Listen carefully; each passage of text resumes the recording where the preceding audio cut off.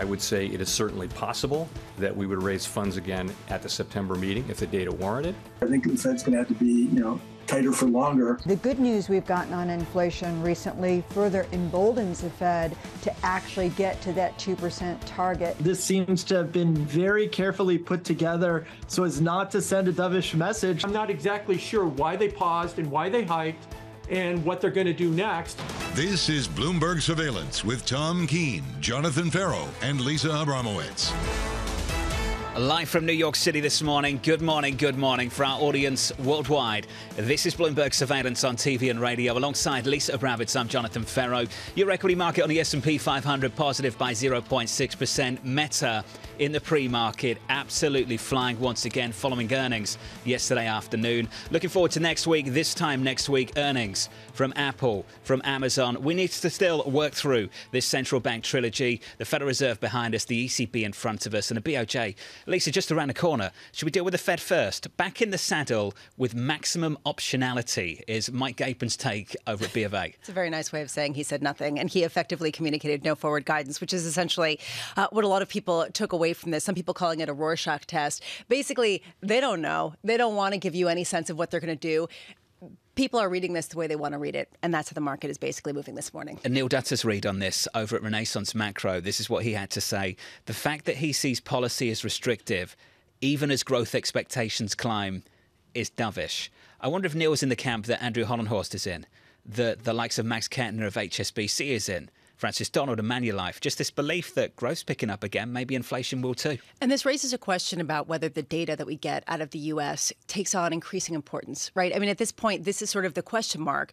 If this is a data dependent Fed, which data are they looking at? And how important is each data point when they say it's just one? So it's sort of this like counterintuitive circular reasoning, which is leaving people kind of questioning what they should be paying attention to. Another read on jobless claims and US GDP a little bit later this morning. We'll do that in a couple of hours' time. Let's just sit on Meta just for a beat. The stock is up by something close to 150% year to date. So going into yesterday, you felt like the bar was kind of high. The stock is up by almost 9% in early trading. Lisa, do you use Reels, this no. short video concept? They have shorts on YouTube as well, and you just sit there doom scrolling for like doom scrolling for hours. That's what they call it, like you know, well, doom that, that would be what I do. Through, going through Clearly. video after video. Well, doom scrolling also because that would be the tenor of the videos that I would gravitate toward. Would be the ones Clearly, that you know tell the us algo about would the, pick up on it quickly. Absolutely, Bramo. they always do. I, do you use it?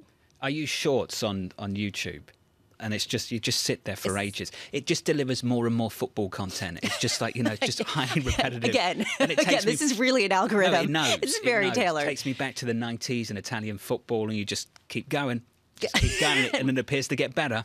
And mine just goes to sort of Armageddon projections. But I am wondering whether we end up seeing a, a consolidation and how much of this is going to come from the company formerly known as uh, Twitter and, and how much they're going to actually gain traction from that if they give some sort of sense of threads going forward.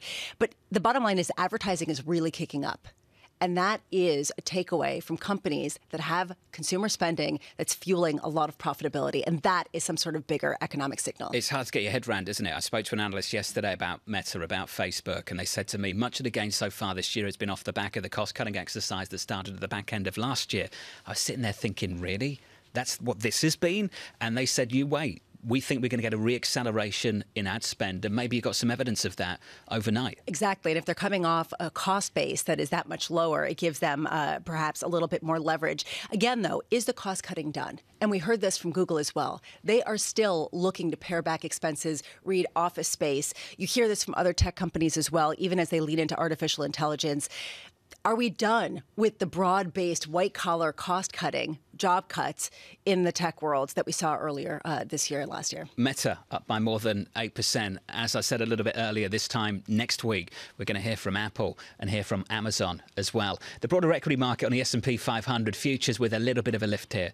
In a green on the S&P, we advanced by 0.5%. Yields are basically unchanged on a 10-year 387.28. In the FX market, this euro has been all over the place. So I was going through the winning streak, the recent one. So that was the longest winning streak for the euro of the year so far. It was replaced by the longest losing streak of the year so far in the last week. And now the euro's back, Lisa, to about 111 going into the ECB. And we do have that ECB uh, rate decision that comes at 8:15 a.m. Eastern, followed by an 8:45 a.m. press conference with Christine Lagarde.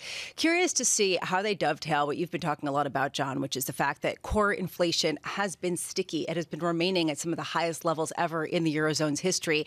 At the same time that you are seeing growth slow, how they parse that as they raise rates up to 3.75% is going to be key. 8:30 a.m. we get second quarter GDP, we get durable goods orders, initial jobless claims. The expectation is we probably will see very strong growth. How do you then dovetail that into confidence that inflation is going to come down? We have seen the economic surprise index increasingly upward in the US. Basically good surprises, meaning the economy is doing better than people expect. How does this dovetail again into the disinflation narrative?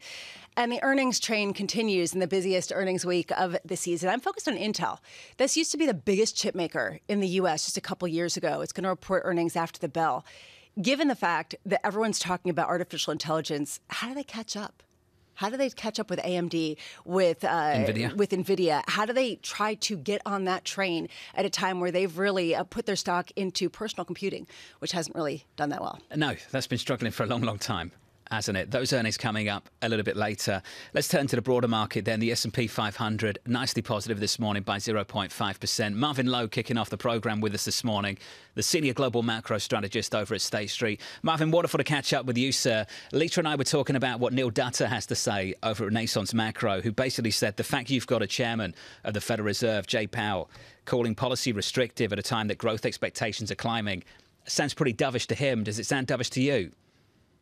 You know what? Um, I think that um, what I got out of the meeting was that uh, certainly the Fed wants to stop if they can. Um, they're not really comfortable uh, doing that at, that at this point. Um, you know, uh, I guess the takeaway that everyone's taking out of this is that every data point is real, and we're going to have volatility around that. So we're going to read what we want out of it. But certainly, um, I think that they're encouraged by some of the trends. They're just not real comfortable, uh, given that they've been burnt in the past, that those trends are going to continue. Marvin, what evidence is there that policy is restrictive?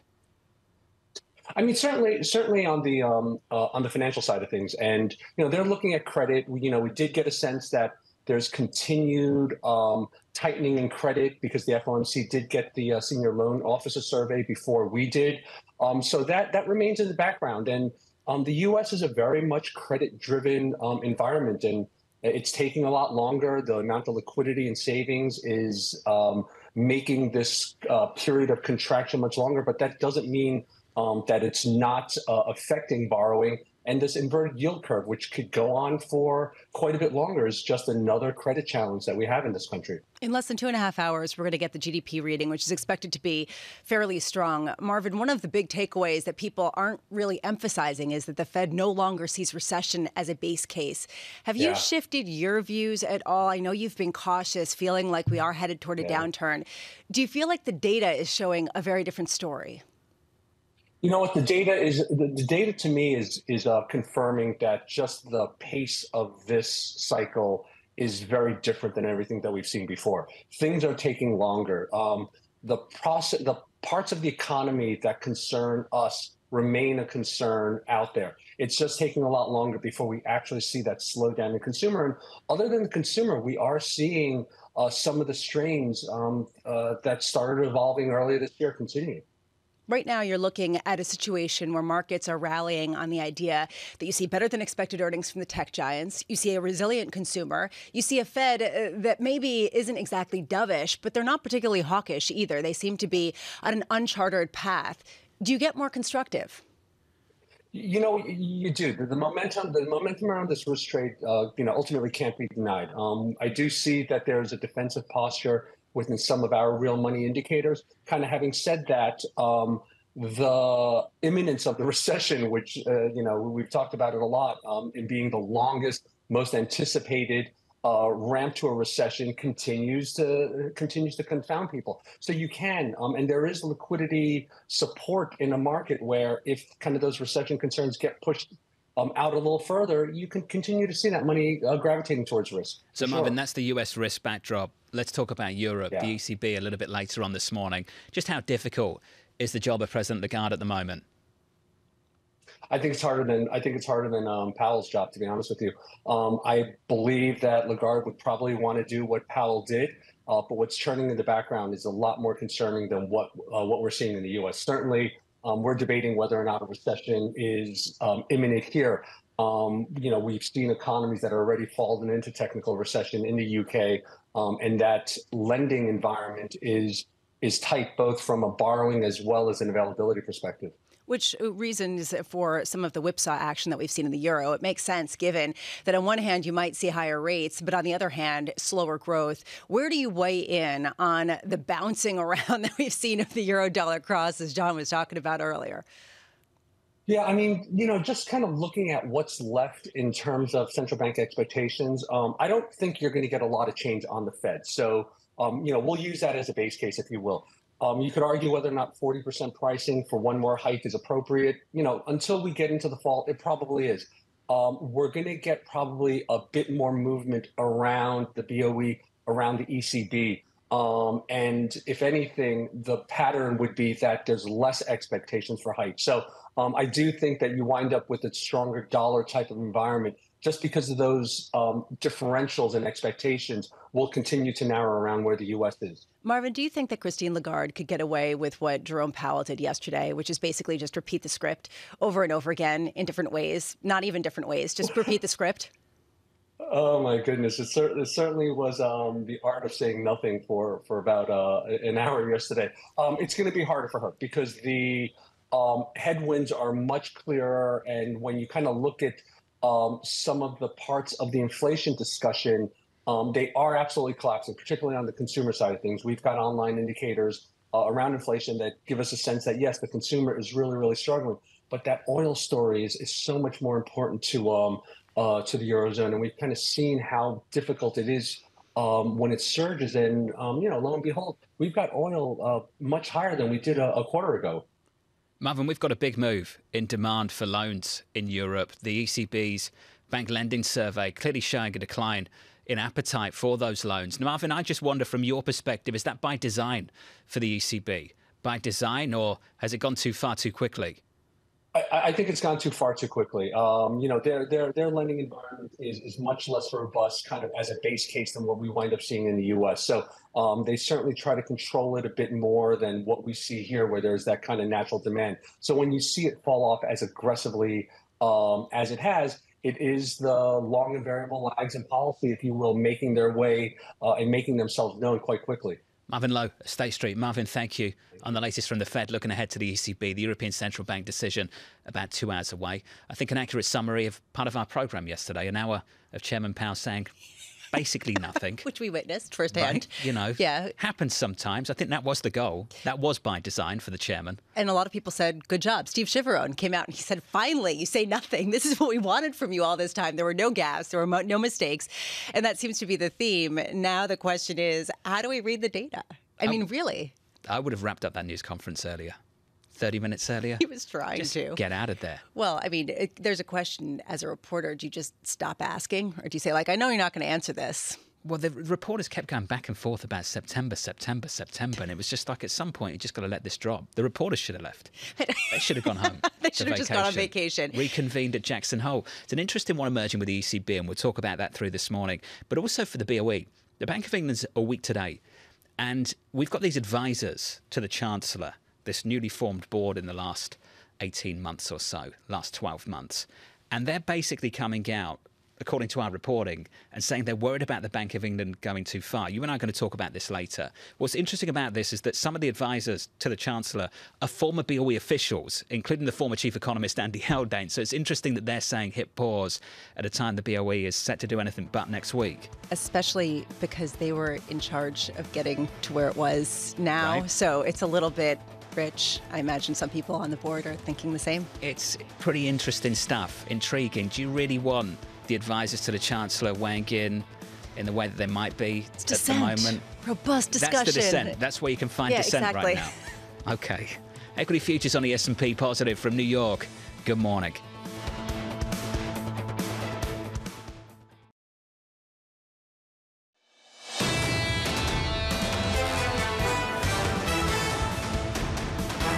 The staff now has uh, a noticeable slowdown in growth starting uh, later this year in the forecast, but given the resilience of the economy recently, they are no longer forecasting a recession. We'd be comfortable cutting rates when we're comfortable cutting rates, and that won't be this year, I don't think. It's really a question of how do you balance the two risks, the risk of doing too much or doing too little. I would say it is certainly possible that we would raise funds again at the September meeting if the data warranted, and I would also say it's possible that we would choose to hold steady at that meeting. The art of saying something but saying absolutely nothing at the same time. Chairman Powell, the Federal Reserve Chair, in the news conference following a 25 basis point rate hike from the FOMC yesterday. The reviews are in for our Federal Reserve special. This from a Bloomberg subscriber. Were you watching F1 videos and football highlights during the Fed meeting? It sounded like it. That's from a Bloomberg subscriber just months ago. well, I mean, somewhat, somewhat accurate. So I was about to say, uh, I guess everyone had their own poison to keep them awake during that. I mean, I will just say it was the unanimous read from the meeting, which Sure. is that this was, as, is, uh, as what we heard from one commentator, the least informative Fed meeting we've heard since at least 2011, if not, or 2022, uh, if not earlier than that. So we looked at a meeting by meeting giving of some sort of forward guidance, and suddenly that evaporated. By the way, the fact that I may or may not have been doing that is a compliment to the chairman, who clearly wanted to make that news conference boring, and he was successful. That's brilliant, John. Okay. Seriously, this is a, It's a compliment. to it's you. a compliment to me and to the I'm Fed chair. Okay. Mm. The Federal Reserve decision behind us, the ECB just in front of us. Going into it, here are the scores on the S&P 500. Futures positive by 0.5 percent on the S&P. Yields just about unchanged as you wake up this morning. Your 10-year 386.89. In the FX market, the euro stronger against a weaker dollar. 111.50. We have to turn to Washington D.C. and not for the news conference from Chairman Powell, but for a press briefing from Senator Mitch McConnell. Really worrying stuff yesterday, Lisa, for the aging senator, who appeared to just abruptly freeze while speaking and stand in place for the best part of 20 seconds in a news conference on Capitol Hill. He tried to joke about it afterwards, saying he was sandbagged and sort of joking about the lapses. But there's been a very serious concern in Washington, D.C. about his role, especially since uh, he was removed and he was off duty since March. He had a concussion at one point, he's fallen a couple times. But it raises a bigger issue. If we're talking about the age of our elected officials so greatly to ask about whether they are fit to serve, what does that mean in terms of the political cycle and the average age of the elected officials of this nation? It's a pretty humorous response because when he said that he'd been sandbagged, he said that that's what he told the president. Of course, the president tripped over on the sandbag, do you remember? And he said that he was sandbagged. But I'm with you. This is really serious stuff. I think the average age of the Senate at the moment is in the mid 60s, something like that. There are some people that have approached 90. I think Dianne Feinstein is 90 now. There are some big concerns around that individual and others too. And this really shapes the conversation a little bit more around the presidential campaign going into next year. And Senator Mitch McConnell is the longest serving leader. This is one of the Four issues. decades. Exactly. And he's been, you know, really consolidating his power. Now we have a president who's around the same age. He's just a year younger than Mitch McConnell. And it's a really delicate issue because that shouldn't necessarily disqualify someone. And yet it has been in the news. And you have raised the question when do people start talking about it more seriously, more consistently from the Democratic Party side to decide who's going to step in at that point? Well, I think the press has a role to play in that as well. And you know how the press works in the United States. There's a fear of talking about this. It becomes partisan really, really quickly. But I don't think this has to be partisan politics. You can see this playing out on both sides of the aisle. We saw it happen with the Republican yesterday. And we need to be open and honest about what we see on a screen. When you see an elected official speaking and struggling to get their words out, that's a conversation we need to have. But I think we need to be somewhat careful about putting everyone in the same bucket. That once you get into the 80s, you're done. We know some really sharp people in their 80s. You've talked about your father who's still playing tennis in Central Park. And for anyone that doesn't know, Bramo's dad, still absolutely crushing it. But Lisa, look at Bernie Sanders. He's still pretty sharp. Yeah. You know, Chuck Grassley through much of his 80s, pretty sharp. Not everyone is at that same moment when they get to 80 that we have to say, well, they shouldn't be in office anymore. But some more than others, it's obvious they are struggling. And we need to have an open and transparent conversation about it. Brilliantly said. I couldn't agree more. And it's something that people have to be able to vocalize without being called out as partisan hacks. Jon Lieber joins us now, Managing Director of the United States at Eurasia Group. John, if you don't mind, I'd, I'd love to start there. Some worrying images on Capitol Hill yesterday. It's not the first time we've seen that kind of thing. John, I just wondered what you were thinking yesterday afternoon. Yeah, I mean, my uh, wishes are for the senator's best health. Uh, I'm grateful for the opportunity that he gave me when I worked for him, and I think he's been a terrific leader for the Republicans in the Senate.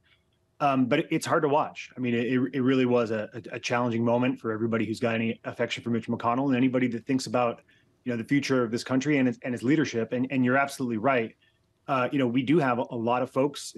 Americans are living longer than ever. They're sharper. Their mental acuity is better, longer than it has ever been before. A lot of them are staying in office as a result of that. And as you said, many of them are doing great. You mentioned Chuck Grassley, uh, Richard Shelby was an older senator who retired last year. But then along with that, you also have folks like Dianne Feinstein, who is clearly struggling to uh, has been clearly struggling to do the job that, that she's meant to do and then there's instances like people like Ruth Bader Ginsburg, who stayed in office probably a little bit too long in the Supreme Court, and it cost the Democrats a, a Supreme Court seat that they're going to pay the price for for a very long time. So there's there's really no way to force force folks like this out of office. We don't have term limits here, and it absolutely is going to be an issue in the presidential election, particularly if we have two of the oldest people ever to run for the office competing on both the Democrat and the Republican side next year in Donald Trump and Joe Biden. John really framed it wonderfully because it isn't just a partisan issue. It's on both sides. And this isn't a matter of just age. It's also condition and being an honest, uh, having an honest discussion around it. How much of the average age, though, has alienated younger voters and created many more of them, uh, caused many more of them to vote as independent and not necessarily follow along on the same kind of traditional party lines? I would say we haven't really seen that phenomenon. I mean, the, the, important thing to keep in mind here is that these are all elected officials who are winning. So voters are telling us that they're actually quite comfortable with the average age of American elected officials going up. If you look at heads of state globally, actually, that's gone down. The average age has gone down nation uh, worldwide, but in the U.S., it's gone up recently, with a few outliers like Barack Obama, who were relatively younger. And you know, look, we had record turnout in 2020 for the two oldest, two of the oldest candidates in American history, and we're probably going to have record turnout again in 2024 with both candidates. Uh, you know, bringing up, bring, bringing out the base on both sides. So the voters aren't telling us yet that age is a problem relative to what they seem to value in you know name recognition and experience. John, the campaigning really picks up next month. Is the first debates for the Republicans going into the primaries, hosted by Fox. The back end of August. There's still a question mark about President Trump's former President Trump's participation in that. John, I just wonder your thoughts in a moment on his standing and whether he turns up four weeks from now. I think it's going to be hard for Trump to turn down the opportunity to do what he does best, which is push people around on the debate stage. And I think that the debates in 2016 are really where he distinguished himself from the field. He doesn't need to do, to do that this time around. He's got a very commanding lead in the polls. He's got universal name recognition. And even if he's not there, the subject of the Republican debates is probably going to be him and his policies and how the other Republicans try to differentiate themselves from him. So I'm not really sure it matters for his campaign whether or not he shows up. It is the best opportunity for those other Republicans to try to differentiate themselves from him and take him down a notch, something that none of them have been able to do. But former Governor Chris Christie from New Jersey has said is his explicit goal. So the debates are going to be massively entertaining. I hope he shows up because I'm definitely going to watch if he's there. And it yeah. probably is going to be a little bit less interesting without him. But I don't think he needs it in order to stay on top of the Republican field uh, until Iowa. I think most people feel the same. they hope he shows up, but ultimately think that he won't. It's John, wonderful. It is great TV. I agree with you. Jon Lieber there of Eurasia Group. John, let's catch up again soon, and thank you for your thoughts on Mitch McConnell, and we wish the Senator the best. From New York City this morning, good morning to you all. Equities are just about positive on the S&P, up nicely. Janet Henry of HSBC coming up.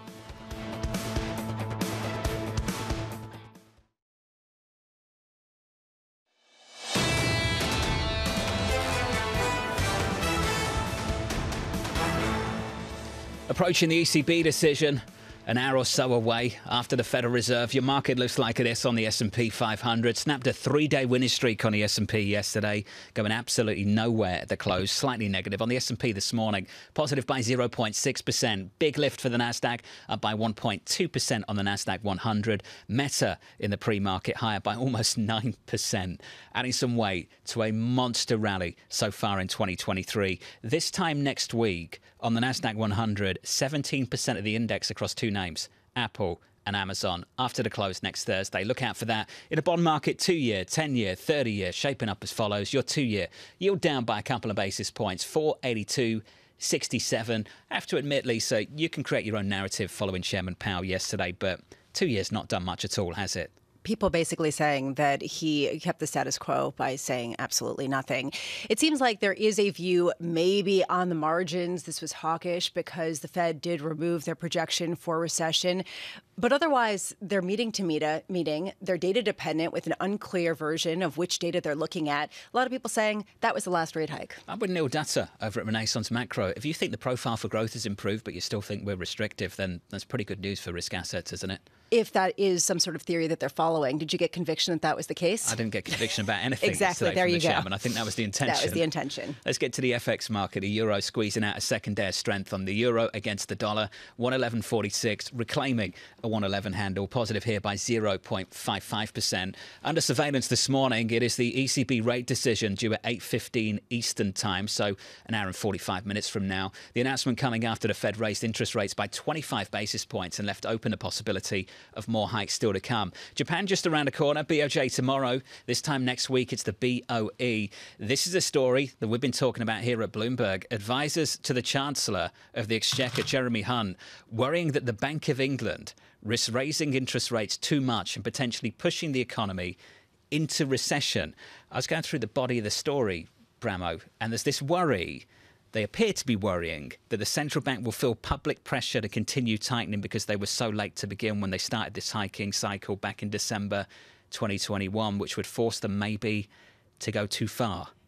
It highlights to me how different people become when they shift from a policy role to a political role, right? I mean, this is something we have seen in the US as well, where in the political role, you're more concerned about recession. That's the preeminent concern.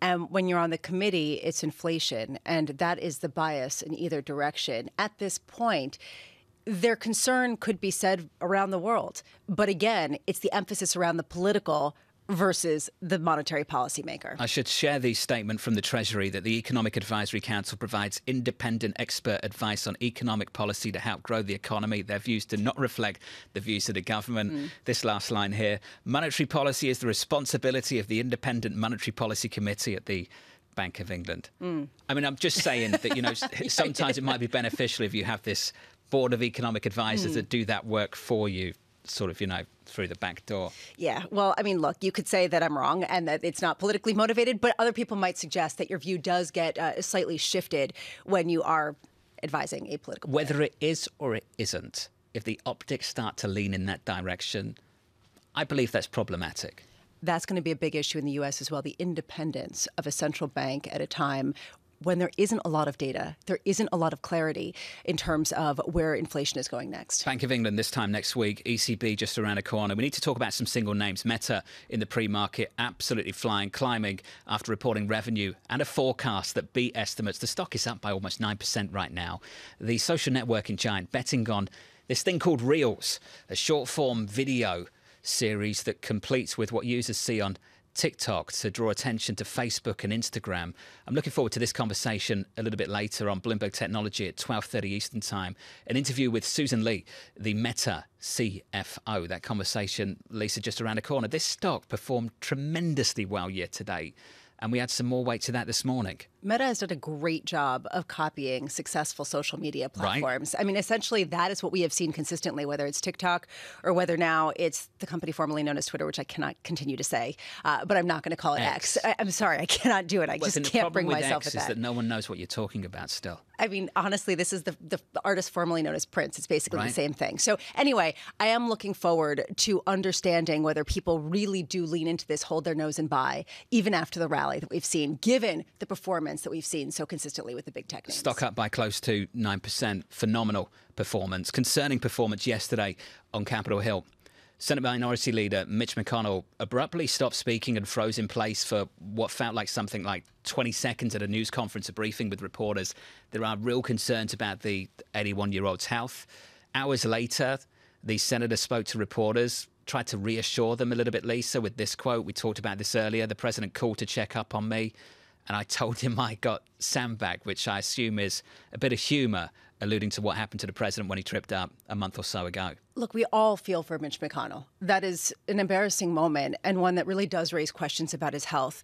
And you heard that in comments, even from the other side of the aisle, whether it's Chuck Schumer or others. They want to make sure he's okay. But underneath, those comments is a question about honestly assessing health at advanced ages at a time when, as we were talking about just moments ago, the U.S. representative body is getting a lot older. And the rest of the world seems to be going in a different Exactly. direction. You know, I thought Tom might be here and he'd ask the obvious question Is it like this in the UK? And I was going to have the numbers ready for him. well, Average age of Parliament, something like 50. Yeah. And in the United States, in the Senate, it's the 60s and going in the wrong direction and getting higher. It's in the mid 60s or something like that. Rishi Sunak's in his early 40s. And the President of the United States is in his early 80s. We've seen this across the board. And at what point does the U.S. shift? And at what point do voters start pushing back? Jon Lieber suggesting they're not at all. And they're actually consolidating around the no name, which is ta- taking priority over younger blood. Does that shift at some point? Is there a pivotal moment a- akin to some of the things we've recently been seeing? Concerning stuff from both sides of the aisle. An aging, an aging population, Lisa, and an aging Senate in a monster way. Let's head over to London and catch up on a central banking story. Janet Henry, Global Chief Economist at HSBC, joins us now. Janet, don't worry, we're not going to talk about the Senate and Capitol Hill and Washington, D.C. We'll talk about the European Central Bank and President Lagarde. What are you and the team looking for from the ECB chief a little bit later this morning? Well, as you say, it's what we hear from the chief. Um, no one's going to be surprised, seemingly, by the rate decision today. It's all about the policy guidance, um, if there is any, um, for September. And so I think, you know, the first point will be what do we hear in the statement? Do they change the statement rather than bringing rates to restrictive? Will it be stay um, restrictive? I'd actually be surprised if there's any change in this statement because then you have a half an hour gap um, before the press conference, um, and they really don't want to trigger any significant market volatility in that intervening period. But I fear it won't be any more exciting than the Fed meeting was um, yesterday. At least yesterday, um, they changed the description of first half growth from modest to moderate, so we're a little bit more upbeat. Um, for the ECB, actually, the last couple of months have been some pretty ugly surveys um, on the manufacturing side, but I think it will be very much stating the fact that it's all about inflation still, and inflation, while finally moving at least a little bit in the right direction, is still stubbornly high. I don't think they want to change expectations here, and, and they want to still think there's more than less likelihood of a further rate rise in September. That was the promo for the ECB decision a little bit later, a snoozer like yesterday. Janet, I don't think the data's a snooze at all, and I know you don't either. You've got Germany in recession. You talked about the survey data, which was terrible. And you've got a situation where inflation is still sticky. What is the relationship at the moment between growth and inflation in the Eurozone? Well, we've got to remember the relationship is never perfect on a monthly basis. And this is also the issue for central banks when they're saying we're data dependent. And yet, most analysis would say that a change in interest rates impacts on the economy over 12 months or more. And yet, we're going to set policy on what happens to data over the course of the next couple of months. So inflation um, is is too high, and given the labour market rigidities in the eurozone, um, they know that once it does get built into wage pressures and the extent to which wages are linked to past inflation, it's much more difficult to, to squeeze out. So a lot of what they're trying to do with policy is to influence um, expectations and not leave anyone in any doubt about their intention to to curb um, inflation. So I don't think we, you know, we, I suppose the softening in the data has been more worrying than had been anticipated, and now it's not just about Germany. We've seen a little bit in the service sector, and we've even seen some softening in the service sector data from from some of the other big four economies that have been somewhat more resilient, but not really enough to stay their hand at this point. It will depend on what they see in the next couple of months. And for me, inflation is still going to be above 5% for both headline and core. Um, the, the reason to pause comes after September, where we still think they will be raising rates. Yesterday, uh, one of the reporters in the room asked Chair Powell how much of the inflation that we're seeing in the U.S. really can be controlled with interest rates the way that it has in the past. I would ask that of the ECB as well. If they do raise rates and continue to hold them at a high level, how much control do they have over bringing down inflation that has remained stubbornly sticky, even with the decline in loan growth?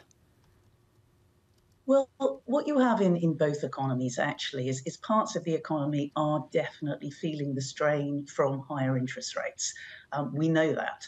Um, but we know that while some households and a lot of companies um, are feeling that strain and will continue to do so as those rate rises feed through, there are other parts of the economy that are feeling less strain. And certainly we see that in the US because um, inflation at 3% means real wages are now positive. So you're seeing consumer confidence improve to some degree, and we've actually seen growth hold up um, better um, than expected.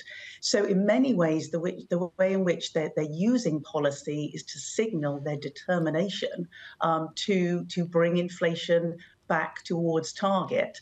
And for a central bank where their goal is, is price stability, they are explicit um, in that inflationary goal. Um, that's what they need to meet, irrespective of what it means for the economy.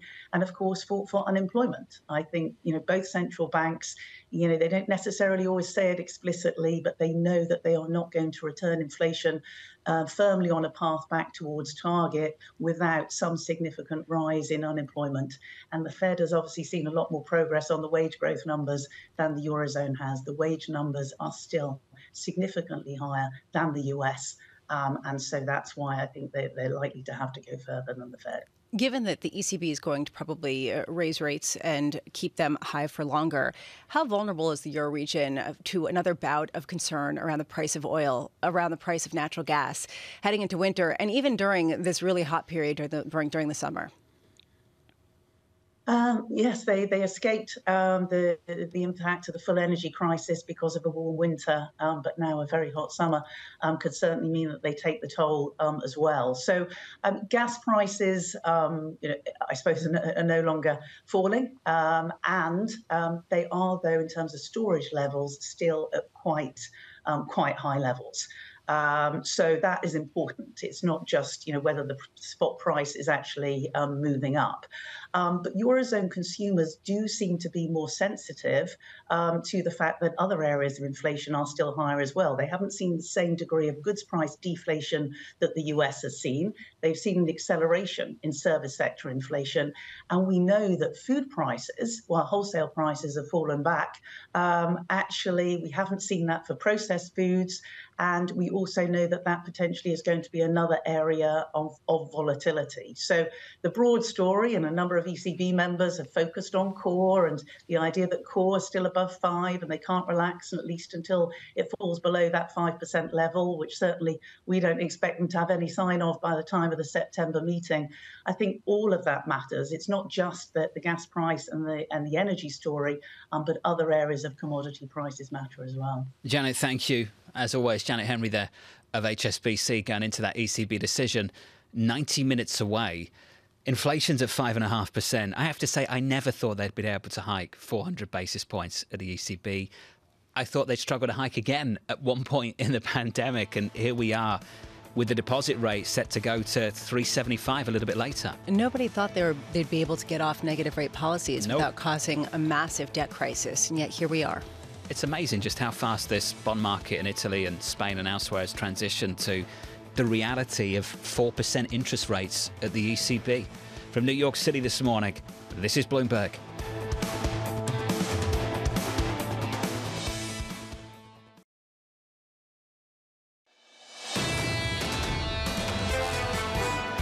what we saw from Microsoft and Google just further confirms what we saw from NVIDIA. I mean, the use cases are exploding across the board.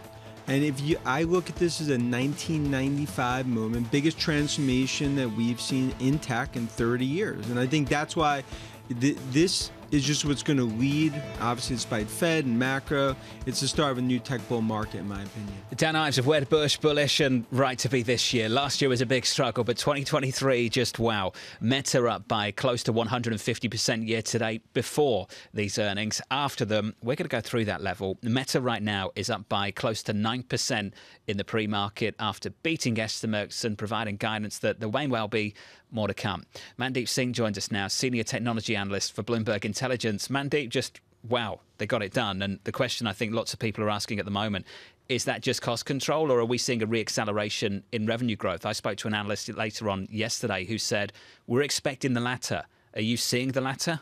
I think so. And uh, look, uh, it's both. Cost control is the primary driver of why the stock has run up so much because the margins are trending in the right direction.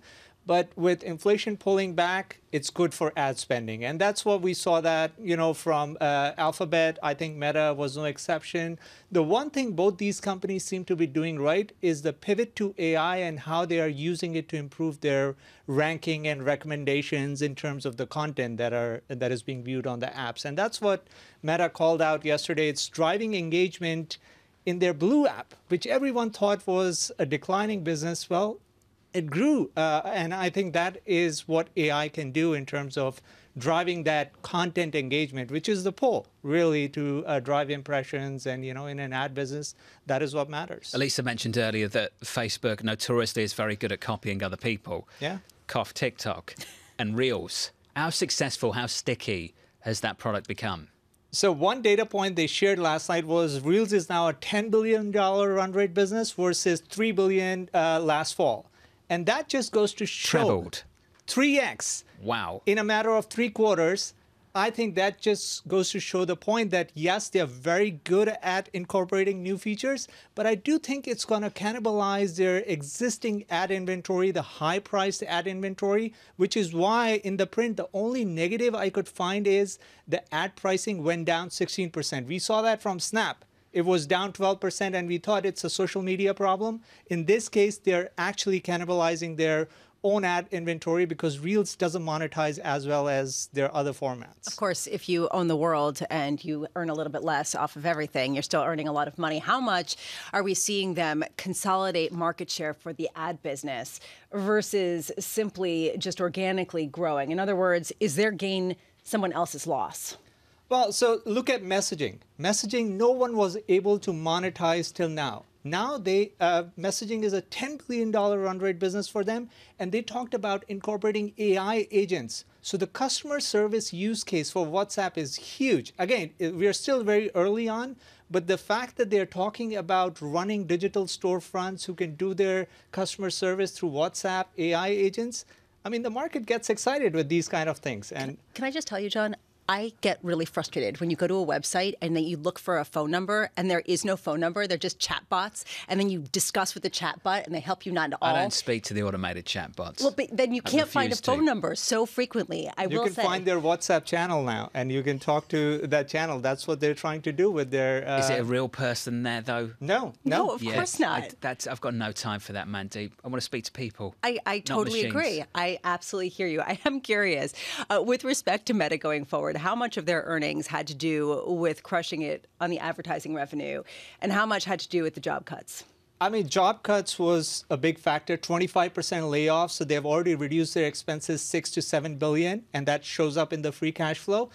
And they didn't cut anything on the Reality Labs side. That was the big surprise. They talked about raising uh, their expenses on the Reality Labs front, so they, they're still going to lose 15 billion on building this metaverse again this year, and that's why the stock is not up more. Otherwise, I, I think uh, investors would have cheered this print even more. So if, you still think that deep down, Mark Zuckerberg's big hopes and dreams are the metaverse still? Oh, absolutely. That was evident on the call. Like he firmly believes in this. He thinks this will still drive the next leg of growth. But at the time, he's he has course corrected, pivoted to AI, rightly so, and that's been uh, good for the. Can stock. you describe it?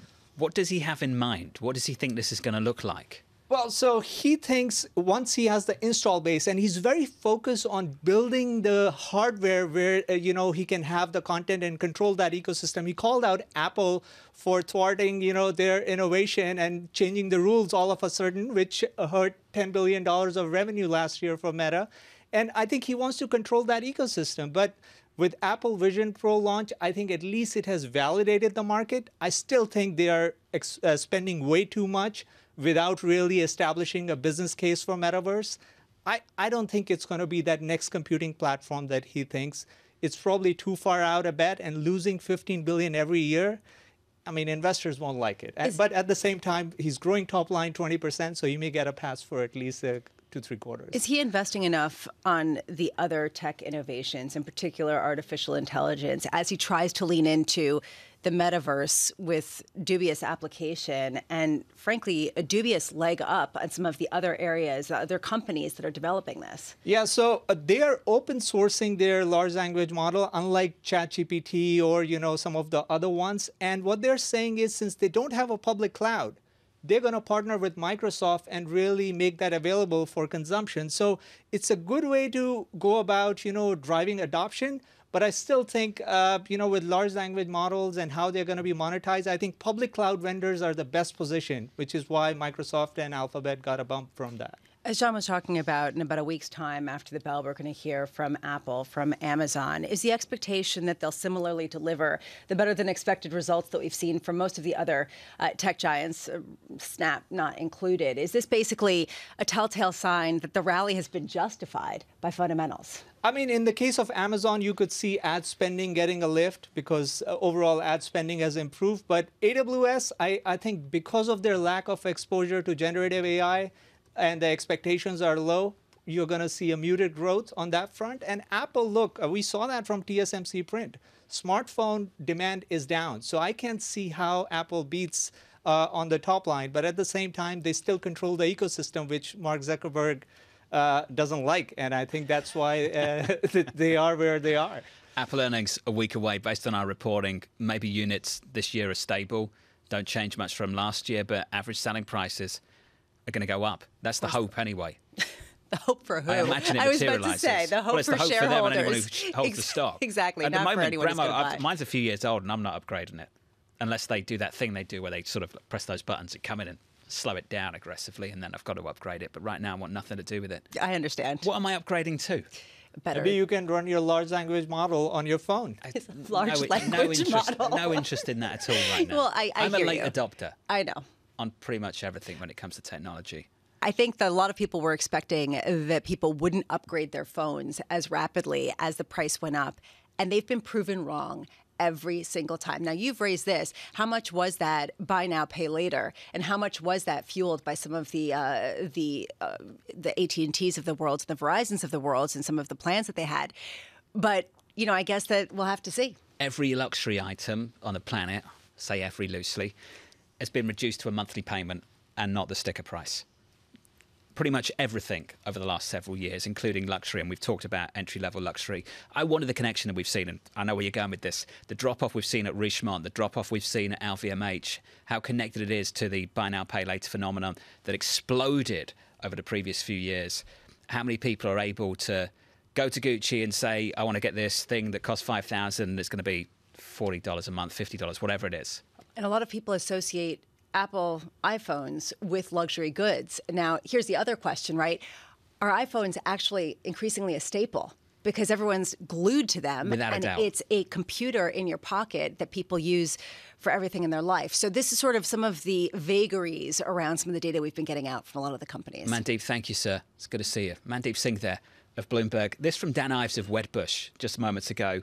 I came, I saw, I conquered. I'm not sure if Dan's talking about himself or if he's talking about the earnings. I suspect he's talking about the earnings so far this week from the likes of Meta and Google. Next week, as we've said repeatedly, Apple and Amazon, the runway through the rest of the year.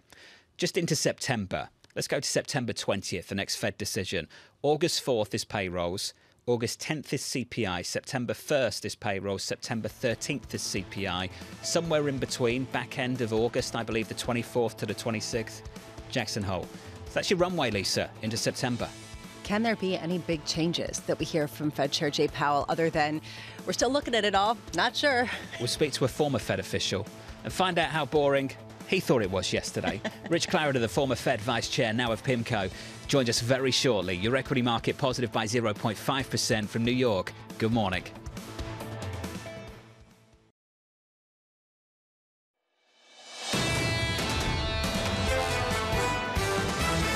I would say it is certainly possible that we would raise funds again at the September meeting if the data warranted. I think the Fed's going to have to be, you know, tighter for longer. The good news we've gotten on inflation recently further emboldens the Fed to actually get to that 2% target. This seems to have been very carefully put together so as not to send a dovish message. I'm not exactly sure why they paused and why they hiked and what they're going to do next. This is Bloomberg Surveillance with Tom Keene, Jonathan Ferro, and Lisa Abramowicz. Nice and rested after a snooze and nap yesterday around 2:30 Eastern Time. From New York City this morning. Good morning, well good morning. For our audience worldwide, this is Bloomberg Surveillance on TV and radio. Chairman Powell and the Federal Reserve decision behind us. In front of us, the European Central Bank decision just around the corner, about an hour and 15 minutes from now. Tomorrow morning, it's on to the BOJ. Right now, this morning, equity futures positive by 0.5% on the S&P 500. Meta in the pre-market, a name we'll talk about a little bit later. Facebook earnings after the close, just tremendous, adding to the gains we've seen for the year so far. That stock is up by more than 150% now, Lisa.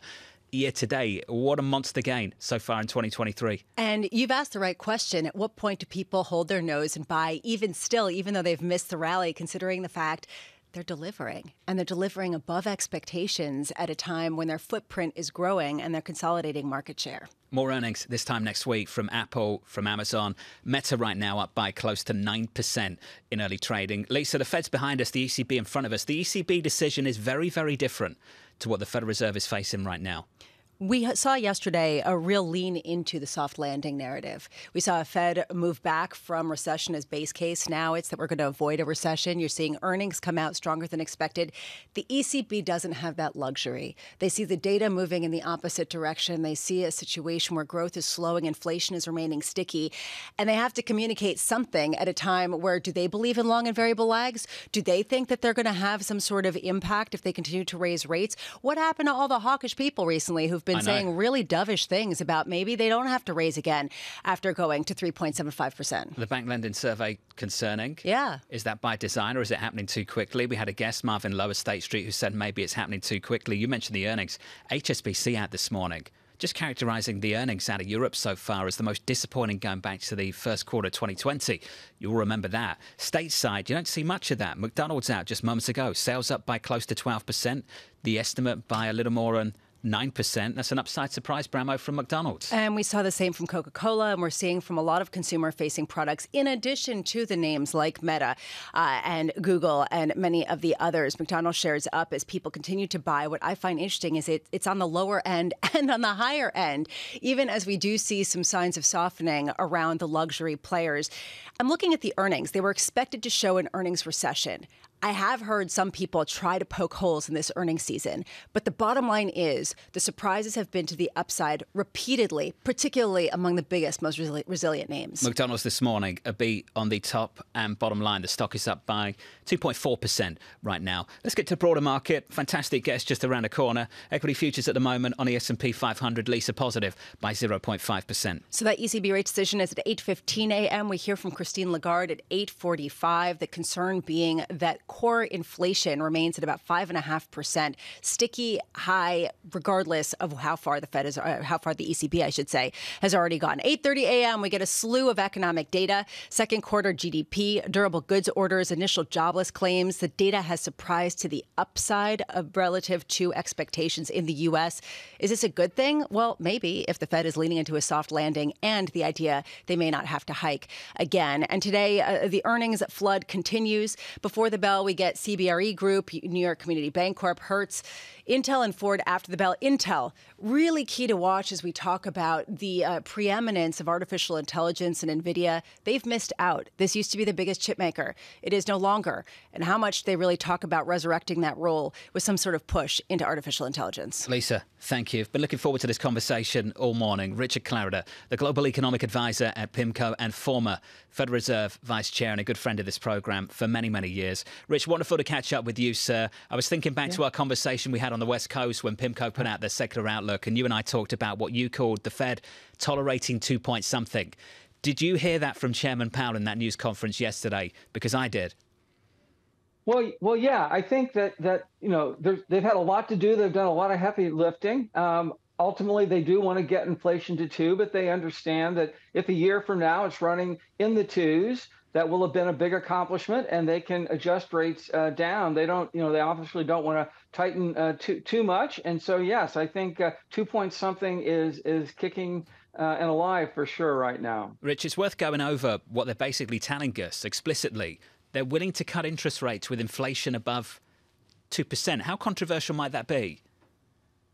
I think they'll do a good job explaining it. What they're going to say is look, as inflation falls, if the Fed doesn't cut rates, it's actually tightening policy because policy is the real rate. So if the nominal rate's unchanged and inflation's falling, they're tightening, and they won't think they need to add additional tightening if they think the inflation momentum's going in the right way. So that's that's the way that they will that they'll uh, explain it. The Fed was talking a lot about data dependency and how they really aren't giving forward guidance at this point. Did you get a sense of which data could really shift their views before September? Even though we do get a slew of data, we've heard yeah. every time them come out and say one data point a trend does not make. Sure, and I think uh, so. They'll have two, they'll have two more inflation uh, prints uh, and two more labor market prints. Uh, but Lisa, I've thought for a long time that another important uh, development that they're going to be following is what's going on in the in the labor market um, uh, they they like the fact that the labor market is buoyant, but wages are are going up faster than consistent with the with the two percent target. So I do think they'll be looking at the labor market data, wage, uh, employment cost index, as well as the the price inflation. So, what would they have to see? How high is the threshold for them to hike again in September, or if not in September, in November? I think it's I think it's maybe a closer call than than than some of the market pricing uh, right now. You know, uh, they did write down uh, uh two more hikes in June. We got one of them uh, uh, yesterday, and, and an overwhelming majority of the committee thought in June that appropriate policy would call for one more hike. So I think certainly one more hike is in play at some point in the fall. You know, the chair said that explicitly. He also said that when he was in Europe a couple of weeks uh, ago. So I don't think it's a, an overly high hurdle to get that hike. I don't think they necessarily have to do it uh, in in uh, September. I will say this: whatever hiking they think they need to do, I think they want to get in uh, this year. Why this year, Rich? Why is that important? Well, I think a couple reasons. I think that um, um, I think they think they're close uh, to the end uh, anyway, and inflation's moving, uh, however slowly, in their direction. And I think they would like to stay out of the spotlight uh, in, in an election uh, year. Now, we've had the Fed hike in election years, 04, 1984 come uh, to mind, and they'll do that if they really think they that inflation really requires a much higher rate path. But I think this cycle is, is aiming to finish up sometime in the fall. You know that this Fed is always criticized. The committee always faces criticism for something. Some of the criticism yeah. we heard from some guest in the news conference before the news conference and after the news conference too was just how data dependent this Fed actually is. They took a break from hiking, Rich, then they come back and hike again. And in the intermittent period, we had inflation that actually improved. The inflationary backdrop seemed to get better, and yet they hiked yeah. anyway. How data dependent are they? Well, good good point. Data dependence is a very elastic phrase, which has is open to various interpretations. I think, on balance, really they going forward especially after this meeting yesterday they, they really are data dependent. As you know i've said on your air before most of this rate hike cycle they've not been that data dependent. In march of last year they knew two things. The funds rate was at zero and inflation was at five going to six. That's all the data they needed to set off this this very aggressive rate hike cycle. I do think as we do get close to the terminal rate that that at the margin is more uh, data dependent. Although I did I agree, and I said on, on, on Bloomberg after that meeting, it was that it was a, it was an awkward pause in June. That's for sure. It's an awkward moment also right now, given that the Fed is removing recession as the base case and we're Yeah. looking at a soft landing. And yet there's a real question mark among analysts and a real split among investors about whether inflation could reaccelerate as a result of the strength, the resilience, the wages. Where do you fall on this? What do you think the Fed falls on this, given that they seem to be taking perhaps a bit more of a dovish stance? Yes, quite, quite, quite frankly, Lisa, I, I was surprised in the in the press conference. I wasn't surprised to hear the chair say, as he has many times, that he thinks there's a path to a soft uh, landing. That's okay. Sure, there's a path, and uh, but I was surprised that he invoked the change in the staff uh, uh, forecast. I don't think that was in the in the June uh, uh, minutes, and so he's obviously entitled to do that. But yes, not my base case, not our base case, but there is a scenario where we get some good news on inflation this fall because of falling rents, uh, used car prices again falling. Um, but if the Fed finds itself in March of 2024 with an unemployment rate of four and an inflation rate of, of, of four, uh, you know, with some of that temporary good news behind them, they're in a very tough spot. So I do think it's a risk. It's not the base case, uh, but it's certainly something. If I were still there, I would be I'd be uh, assessing. What do you think right now is the bigger risk, Rich? The idea of inflation reaccelerating and still being a problem, or the idea of recession and avoiding something more entrenched, which could happen if the Fed moves slower? Well, personally, I, I do think that you know, again, I'm in the private sector now. I, I do think that that the Fed, the bigger risk is for the Fed is to uh, declare mission accomplished uh, too early and find themselves next year having to restart the rate hike. So if I were there, it would skew me to getting in, you know, that additional hike uh, uh, this year. And I think some members of the committee will will see it that way. Look, Lisa, the other thing is. Um, um, the Fed's own projection, which I agree with, has unemployment rate rising by about a point by the end of next year. Uh, that would be very modest. That would probably be the most modest downturn we've had. But historically, as we know, the Somme rule, whenever the unemployment rate rises by more than a half a point, it's ultimately declared a, a recession. So I actually think a truly non-recession outcome without any rise in the unemployment rate at all is going to be is going to be tough. That's my personal view. Would be phenomenal if that materialised. I want to finish on this if we can, Rich. Yeah. No dissents. We talked about this yesterday. I've been talking about it for a while. You've been on the committee. Why do people, even when we know they might disagree with the decision, make the decision not to dissent? Why does that happen on the committee? Well, you know, the Fed has been an institution that's been around for 100 plus years, and there are certain cultural uh, norms. Um, and certainly, it's been a very long time since you've had a governor uh, dissent on a policy rate uh, decision. If you go back to the Volcker years, he had governors and his vice chair dissenting. But you know, since Greenspan, uh, but the Reserve Bank presidents can and do dissent. Certainly, during my time at the the Fed, especially in 2019, we had three dissents, and we had several presidents saying they would have dissented if they had had a vote. So dissents can happen. The other thing I should note is we've had a lot of turnover um, among the regional bank, uh, district bank presidents. You know, the announcement of Jim Bullard, recently Esther George, Est, uh, uh, Charlie Evans, uh, uh, Rosengren. You know, there's accumulated 50 plus years of institutional experience that's no longer uh, in in that room. I think that's also relevant. Richard, thank you, sir, for weighing in. Thank Let's catch up soon. Next time in studio, please. Richard Clarida there, the former Fed Vice Chair and now of PIMCO. If you're just joining the programme, welcome to the programme. The S&P 500 positive this morning by 0.55%. Coming up in about 45 minutes from now, we'll catch up with James Athey of Aberdeen, looking ahead to the ECB rate decision about an hour from now. Bramo, most people anticipating a hike from the ECB, even with Germany in recession and the data this week looking pretty awful. And you pointed out how earnings have been really disappointing in Europe and how different that is from what we're seeing in the US, whether it's McDonald's or, and this just caught my headline, Crocs just upgraded their full year earnings per share, their forecast. And um, evidently, Crocs are cool again. And I, I'm wondering how you feel about that, John. I've, I've got no idea what's cool anymore based Well, on the kind of things that I'm into anyway. and the kind I'm of just- things that people are wearing these days. I'm just looking at that and I'm thinking, ah, that's going to be uh, a field day of that. But TK would do that. TK's far more fashion forward than I am. Is, is he Oh, wearing my Crocs? Can you imagine him wearing Crocs? He came in the other day with leopard print Doc Martens. Seriously? I'm serious. That's actually kinda cool. With a beige suit. And next time he does it, I'll take a photo. Um, seriously. and post it online, and we'll talk doubt. about it yes, all day long. Like a guess who. Guess, I don't think- oh, my shoes versus his shoes. well, I think everyone will know who it is. Well, because his shoes are about 10 sizes bigger than mine. Yeah. Also, you wouldn't wear Guys, leopard print. There's no way. I mean, I mean, come on. No, not if you paid me. I'm like, seriously, not if you paid me. I know.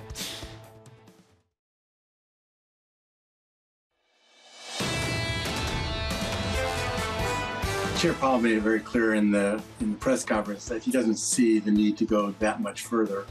Uh, you know, the very fact that it's sort of meeting by meeting now tells you that he thinks that you know maybe there's one more rate hike, maybe there's no more rate hikes uh, as we go forward.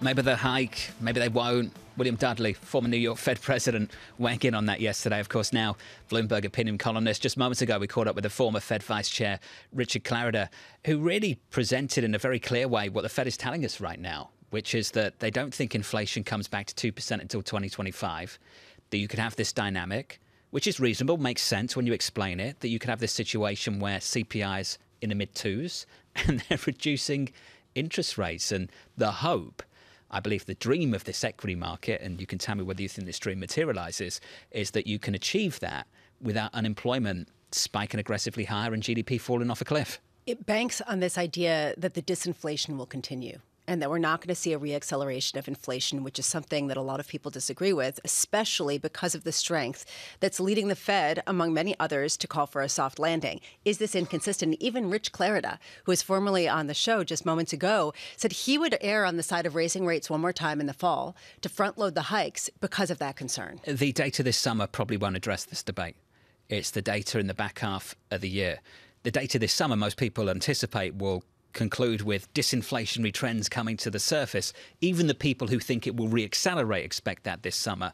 The real test is back end of the year when we also get student loan repayments resuming as well, Lisa. And most people are writing stories about whether or whether that doesn't hit economic growth in a material way. So, how do you engage in data dependency without some sort of driving theory and driving expectation if the data isn't going to show up? Mohammed's point exactly. You've got to have some theoretical underpinning about what you're doing. You can't be hyper data dependent between meeting to meeting. And based on what we got yesterday, and this is what the complaints were about, and I know you're on board with this, if it really was meeting to meeting, why did they hike this time based on where the inflation data came in? I would agree with that. I also think you have different theories depending on which Fed official, and they're just glossing over that by saying we don't have a theory and we also don't have dissent, or at least there's the appearance of that. And I think we've discussed that. I think it's a valid discussion to be having. The Federal Reserve behind us. Keep talking about the ECB. Really interesting discussion coming up a little bit later this morning. We'll catch up with James Athey of Aberdeen going into that decision. The decision a little under 60 minutes away. The broader market looks like this on the S&P 500, positive by 0.55% on the S&P. There's a lift in equities, a monster rally in Meta. That stock is up in the pre-market by close to 9%, up by 8.82% this morning, Lisa. Just adding some more weight to the rally for 2023. What is it, 150% at ah, this It's point? nuts. It's through that. it's ridiculous. Through that now, yeah. So then do you buy at this point? Do you say, all right, I'm in? if I speak to analysts at the moment, and you're not going to get my meta call, I'm never going to give anyone that. If you speak to analysts at the moment, the bullish ones, they think that a lot of the price appreciation we've seen so far this year is just cost reductions and cost discipline, and that we could see a reacceleration in, in revenue growth. And look, we saw some of that, some of that yesterday, and the stock is up again this morning. And then you have the Leach Levines of the world who say rates will eventually come down and you'll get that tailwind on the back end. And this, to me, again, it highlights how wrong everyone has been, considering that people were saying that tech was going to be the biggest loser so far Oh, this year. And it's been the big winner in a big way so far in 2023. Joining us now down in Washington, D.C. is Bloomberg's Anne Marie, our chief Washington correspondent. AMH, we have to start, of course, with some upsetting images from yesterday. Mm. Senator Mitch McConnell, who appeared to freeze in a news conference at a briefing, it's been raising questions about the age of people in the Senate. Of course, not just Senator McConnell, but Dianne Feinstein, another one who's really struggling at the moment on the other side of the aisle. How's this playing out, AMH, down in Washington this morning? Well, you're correct, Jonathan. We wish the senator well, but he did essentially freeze. He abruptly, you can see it right there on the screen, stopped speaking for about 20 seconds. He then had to be ushered away. John Barrasso there, the senator, asking him, Are you okay, Mitch? Anything else to say? Ushered away, but then he came back to the mic and said, I'm fine. And I think in a politically uh, charged moment about questions surrounding individuals' age, but it was very astute of Senator McConnell to say that the president called him and he said, I told the president I got sandbagged. So basically, also pointing out that yes, we're all in this boat together, we're of older age, and we do have these moments, but it does raise a questions about the older age, the aging uh, elected officials we have. When Dianne Feinstein, the senator from California, came back from recovering from shingles, an LA Times reporter had this moment with her asking her how it felt to be back. And she seemed very confused as she had never left. She said, What do you mean? I've been here, I've been voting. So there's been a lot of questions about the age of these elected officials, a lot of questions about Biden, his age as he seeks reelection for 2024. And you look at some of the data, and a lot of Americans actually want to see upper level age limits on elected officials. But at the same time, a lot of Americans say older individuals have a, are very wise and they should be able to serve if they are healthy and they should be able to be able to do that if they have the cognitive mentality to do so given uh, the uh, voter uh, appearance of being okay uh, with older politicians. How do you expect this to play out in terms of voter turnout, in terms of voters pushing back at all in next year's election?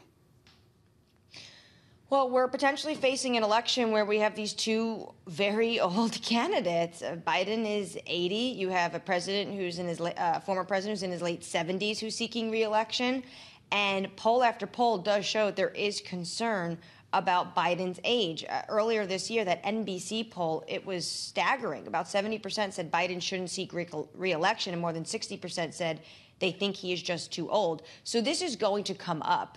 And the issue really the Biden camp faces and other elected officials face when you're in your 70s or 80s and potentially you're struggling is what happens in front of a camera. Do you trip? Is there a moment where you have a gaffe? Is there a moment where you freeze on camera? And then the questions start to really rise. And can that derail a campaign? Hey, mate, just before you go, when you cover a campaign at the moment, traditionally you would just focus on the politics. Unfortunately, we have to focus on the legal issues as well, not just around the president's son, but also around the former president, Donald Trump. What are you expecting to develop yeah. in the coming weeks? There's a lot of legal issues, and there potentially is going to be more in the next 24 hours. So, first, for the former president, potentially today, we can get that indictment uh, this would be his third indictment this year. This would be from the federal uh, special counsel Jack Smith, and this would be regarding overturning the election results of 2020 and January 6. So potentially that could happen today. What it means for his election race is that he is just going to be bombarded with legal issues alongside the campaign trail. And then, of course, the president's son, current president's son, Joe Biden, Hunter Biden, uh, yesterday had this plea agreement. It broke down in court. Uh, the lawyers from both the prosecution and defense went away, and potentially they will come back to the table with an agreement. Uh, but this just keeps Hunter Biden's name in the press and potentially poses some problems for the current president as he seeks reelection. You're doing some construction over there, Anne Marie. it's, it's, above me. It's the floor Someone's above me. I'm not sure what, what. Okay, all right. Go sort them they're out. building me a new studio for 2024. Very cool, as they should.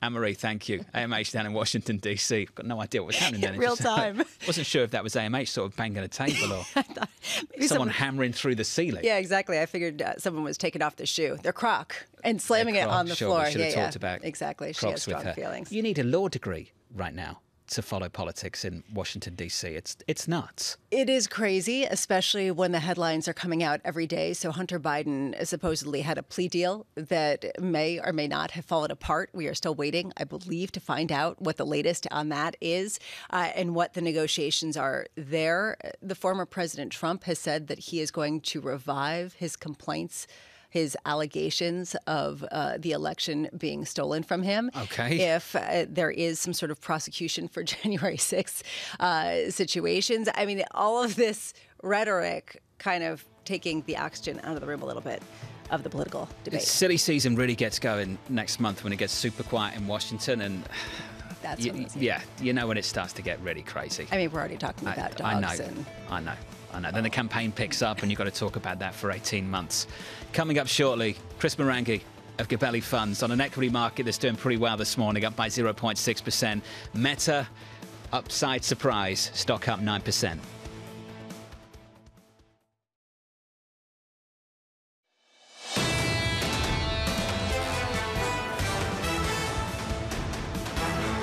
Equities this morning and good morning. Positive on the S&P 500, a lift here on the S&P and on the Nasdaq too.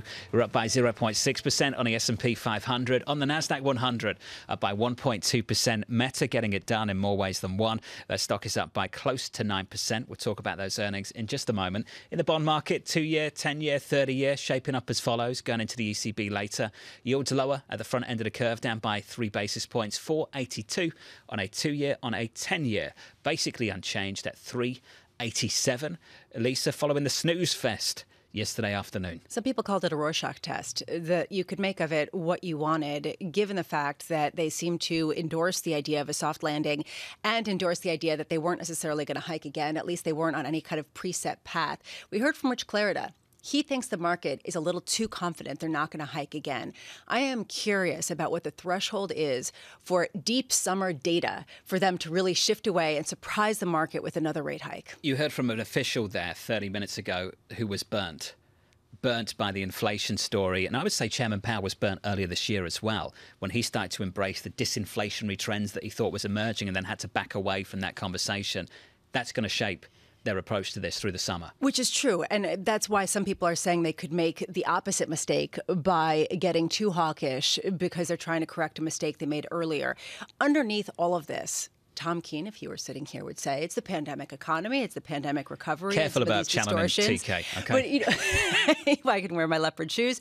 There is going to be an issue going forward. How much do Fed officials buy into the immaculate disinflation that seems to be underpinning the soft landing hopes that we keep hearing from so many economists and Fed officials? Privately, I'm sure they're dancing around, hoping and praying. 100% publicly, I think they're going to be very reluctant about doing that. Let's turn to the FX market just briefly. Euro stronger for a second session. The euro against the dollar, 111.36, positive here by 0.5%. Under surveillance this morning, an ECB rate decision due at 8.15 a.m., so 45 minutes from now. The announcement coming after the Fed raised rates by 25 basis points, left the possibility open of doing more. Meanwhile, in the UK, this one's interesting going into the Bank of England next week. We're reporting that advisors to the Chancellor of the Exchequer, Jeremy Hunt, are worrying that the Bank of England risks raising interest rates too much, potentially pushing the economy into recession. So we've got the BOE next week, Lisa, the ECB just around the corner, BOJ tomorrow. BOJ tomorrow is pretty interesting, you know, because out of everyone, out of all these central banks, Federal Reserve, ECB, Bank of England, they view the inflationary uptick as an opportunity not a problem, an opportunity to reset inflation expectations. And there are some people talking about possibly abandoning the yield curve control or the peg that they've had. I can't imagine that's going to happen. I Personally. Reports suggest it won't tomorrow. I can't imagine that they've surprised could. before, but yeah, but it's been a long time. They've been moving in the opposite direction. Will the rest of the world, to your point about the UK, join their view of things? That if you let things take their course and play out, there will be this sort of disinflation. You'll allow yourself to have an economy that isn't destroyed by some sort of deep recession. But we were having the same discussion six months ago. It's super transitory. Yeah, just like you know, exactly. Push, push the, it out. Push but we were having the same discussion six months ago particularly of the Bank of England. And then inflation surged higher, and oh, yeah, the economy did better than expected. So, at what point do you take that and say, wait a second, we need to pay attention? We're not understanding some influence here that's keeping strength going. And also, on the flip side, inflation. It doesn't happen in a straight line. I find the ECB decision today to be pretty confusing. What do you do when growth is really disappointing, but inflation is still a problem? They've got an inflation mandate, 2%, single mandate unlike the Fed, they don't really have the luxury of backing away anytime soon, which is why most people assume, Lisa, they hike later on this morning. And then how do they guide forward at a time when the hawkish members are starting to say, uh, maybe we should be a little bit more concerned about how much we've already done? That's the central bank talk. Let's briefly talk about some of the earnings this morning. Upside surprise from McDonald's from about 30 minutes ago. Yesterday afternoon, upside surprise from Meta. The stock is up by close to 9%. Everyone's using Reels, apparently, Lisa, this short video format that you know well, which is basically just to compete with TikTok. But tech, you've got to say it getting it done so far, validating some of the moves based on what we heard from Alphabet and what we heard from Meta overnight. Upside surprise after upside surprise, advertising such as point of strength. Uh, Meta, in particular, and we were talking about how they really uh, are good at copying successful technologies and taking advantage of technologies that have some sort of pall cast over them. And this I find interesting. TikTok, the question around Chinese ownership, they get in on Reels and can get popular. The company formerly known as X, suddenly a question around Elon Musk's leadership and guide. They start threads and they're cheered for it. At what point do they sort of get a pass because they take advantage of these opportunities of contention in the tech world? You can't stand this X thing, can you? Can you imagine if Twitter was reporting earnings, how bad that might look right now I, based on what's yes. happened in the last few quarters? That's the tech story. Just remember, Microsoft was a soft spot. I would say the soft spot of the week. Biggest one day drop on Microsoft stock yesterday, going back to January, I believe. Let's get to this final story. A car carrier with nearly 4,000 vehicles, including BMWs and Mercedes, is burning off the coast of the Netherlands. This fire, we're told, according to the Dutch Coast Guard, could last for days. The vessel, Lisa, listen to this twice the length of a football field and trying to prevent it from overheating so it doesn't sink and leak fuel.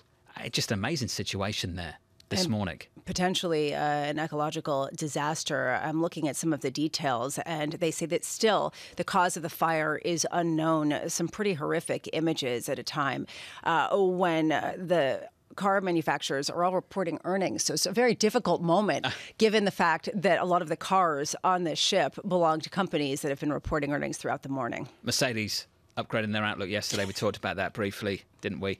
This a year or so ago, can you imagine supply chains and what everyone would be talking about? It's sort of like this will get brushed under Yes. under the carpet. But a year or so ago, it's been like, you know, car prices and Right, then we would get into stories totally yeah everything. totally Now totally stories care. totally change chris marangi joins us now co-cio at gabelli funds chris wonderful to catch up with you sir can we just start with something that i know that you've been doing well with meta chris talk to me about what we heard yesterday did you like what you hear Yeah, we like what we heard, and as is the market apparently. So, you know, we thought that follows a pretty strong report from Google and even Microsoft, which had a very high bar to clear. Um, and you know, we saw some confirmation that uh, users are returning, that advertising is pretty good, spending's under control. Um, they took off took out some of the overhang of increased capex in 2024, and um, listen, they can possibly earn twenty dollars in 2024, and that makes the stock look pretty cheap here. A lot of people push back against some of the enthusiasm around artificial intelligence and say that the results that have been positive in the tech names have come from the nuts and bolts of their business, advertising, uh, even cloud spend, albeit that was somewhat softer than expected. Are you still leaning into the AI story? Are you are you looking past that and saying fundamentally these companies are still making money and that's why you want to lean in? Yeah, it's it's it's early for AI obviously to have an impact, and and Meta got in on the AI story as well. They they talked about it a bit, and they've got a, a little bit of a different approach. We're probably not going to see that play out in earnings for for some time, but there's a scarcity of ways to play AI, and that's why you've seen names like Microsoft and Google, and to a lesser extent Meta, uh, really benefit from that story. Uh, AI is going to change the world. Not quite sure how it happens and how we profit from it though. How have you shifted your views or the names that you're really leading into as we do get earnings, as we do get this backdrop of a potential soft landing? Yeah, you, you, you've said it a bunch of times. Soft landing, the market sniffed that out sometime in June. Uh, earnings, though, thus far have been pretty confirmatory of that outcome. And I think the market is reflecting that in some of the broadening of uh, performance to the small caps, which tend to be a little bit more cyclical. So we've always had a bias towards smaller companies, less covered companies, industrials, and um, we're, we're seeing uh, we're seeing a benefit there, and like a lot of those stocks, notwithstanding some of the great performance from companies like Meta and Google. Chris, can you walk me through that decision to buy Meta after the complete mess of the last quarter of 2022 when things started to look really bad for that company? What did you see that you liked at the time? What was the framework, the process that you and the team went through to identify that name as something you should buy? Well, listen, we, we, we've been following the company for a very long time. Uh, we have a core competency in media here, and, and Google and, and Meta fall into communication services. They're in many ways media companies. They they eat advertising. Uh, but you know, one of the concerns that we've always had was the out of control spending. Um, when they talked about the year of efficiency, we knew that even if we did hit an air pocket in the economy, Google and Meta and others would have uh, some cushion in being able to reduce their own expense bases to maintain margins, maintain earnings, and, and they've done that. Chris, there's a hope now that revenue can reaccelerate. And when people discuss taking cyclical exposure, can you talk to me about taking cyclical exposure in some of these tech names? Yeah, I mean, they are going to be the beneficiary. They, are exposed to advertising. More than half of advertising is is digital, and most of that is controlled by two companies, Meta and Google. And um, they are going to be a beneficiary of a cyclical upturn, maybe to a lesser extent from the uh, tsunami of political spending that's going to happen next year. But core advertising remains soft. We also saw Comcast this morning, which actually put up very good results. Although you know one of the one of the nicks there was um, advertising as expected, down about five percent at NBC. Um, so linear television remains a little weak. We're a year over a year into an ad recession there, but that's going to turn around at some point. And by the way, that should benefit Meta and, and Google. Meanwhile, Chris, uh, Gabelli has been really vocal about the need to consolidate your bets around a number of names that you know and have conviction in. How has that played out? How much have you broadened that out versus continued to really focus on a number of key names that really do seem to represent the trend and the strength in the economy right now? Yeah, I'm always we've always tried to stick with what we know, and um, there are certain sectors that we just don't play in because they tend to be commoditized or we just don't understand them. But we've got enough that we can understand, and we can we can benefit from different uh, dynamics in the economy. You know, there's certainly acyclical or less cyclical components of, say, consumer discretionary, the cable companies, broadband companies that have a sub- substantial subscription business, as well as the you know more cyclicals, the the metal benders that go up and down with the economy. So we've got a pretty diverse uh, portfolio that can take advantage of whatever happens. Chris, when you have a monster winner, whether it's Meta or another tech name, how do you make the decision to to cut, to move away, to lock in the gains after yeah. a short period of time? What goes into that? Well, you know, we're, we're always looking for a margin of safety. And an ideal case, you know, you've got two lines. You've got your private market, what we call our private market value, and the public market value. And if that margin of safety, the gap between those two lines remains consistent with what we'd expect, uh, we're happy to own. We're happy to own forever. We tend to have very low turnover in our portfolios, but if that margin of safety narrows, we'll we'll trim or, or, or exit. Um, and you know, in the case of Meta, uh, they've been able to grow earnings, and the multiple has expanded a, a little bit recently, but um, it's really still an earning story. Well, Chris, wonderful to catch up, and congratulations on a wonderful investment so far. Chris Marangi of Gabelli Funds Meta looking better and better as the days roll by. The stock Lisa up 9% this morning. You asked the right question. When do you decide to cash in? Right. When do you decide to say this is pretty good at this point? And Chris had a good answer to it. I do wonder, though, at some time, you do hear people saying maybe sell on the margins and then shift into some other areas. Cyclicals. Yeah. How much have we heard that? I know. Uh, it's like on repeat on for repeat. the last month or so. If you are just tuning into the program, welcome to the program. The S&P 500 right now is positive by 0.6%. It's the countdown to the ECB now, about 30 minutes away from that decision. We'll catch up with PGIM Fixed Incomes, Katharine Neiss. Looking forward to that conversation on the European Central Bank. And ultimately, what happens beyond the 25 basis point hike Bramo, we all expect from President Lagarde and the Governing Council in the next 30 minutes or so. And at a certain point, I do wonder, and we discussed this earlier in the show about that loan survey that showed such a steep drop off in loans. And we heard uh, about how it probably was too quick for the ECB's comfort. At what point do they highlight that? In the meeting that there is signs, there are signs of some serious credit contraction, making it difficult for them to really get overly hawkish at this point. Is that what they want to see? I think this is the one for me. You can acknowledge the bank lending survey, but it's how you characterize it. Is it by design? Is that something, the intended consequence of policy? Or is the pace at which it's happening unintended and unwelcome and maybe slightly nerve wracking for some of them on the committee. Well, Marvin Loh said that it was too quick. He said that this is not the orderly fashion that they'd like to see. And if that's the case, if they pause and they can see whether it evens out, maybe they'd opt for that kind of thing. But are we past the point where ECB and Fed officials want to communicate hawkishness in order to jawbone the market to some kind of response? That seems to be one of the key questions. Do they care about easing financial conditions? You picked up on the right word, I think. Is it orderly or is it disorderly, and we'll find out from the ECB president in the news conference that comes 30 minutes after that decision. A little bit later, a conversation you might not want to miss. Gary Gensler, the SEC chair, is going to be joining Bloomberg at 11 a.m. Eastern Time. From New York City, this is Bloomberg.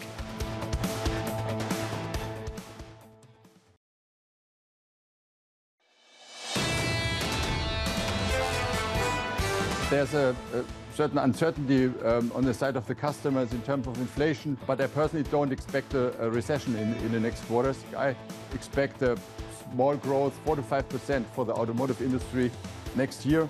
And this is also true for the major region, mainly US uh, and Europe and China perhaps a little bit lower.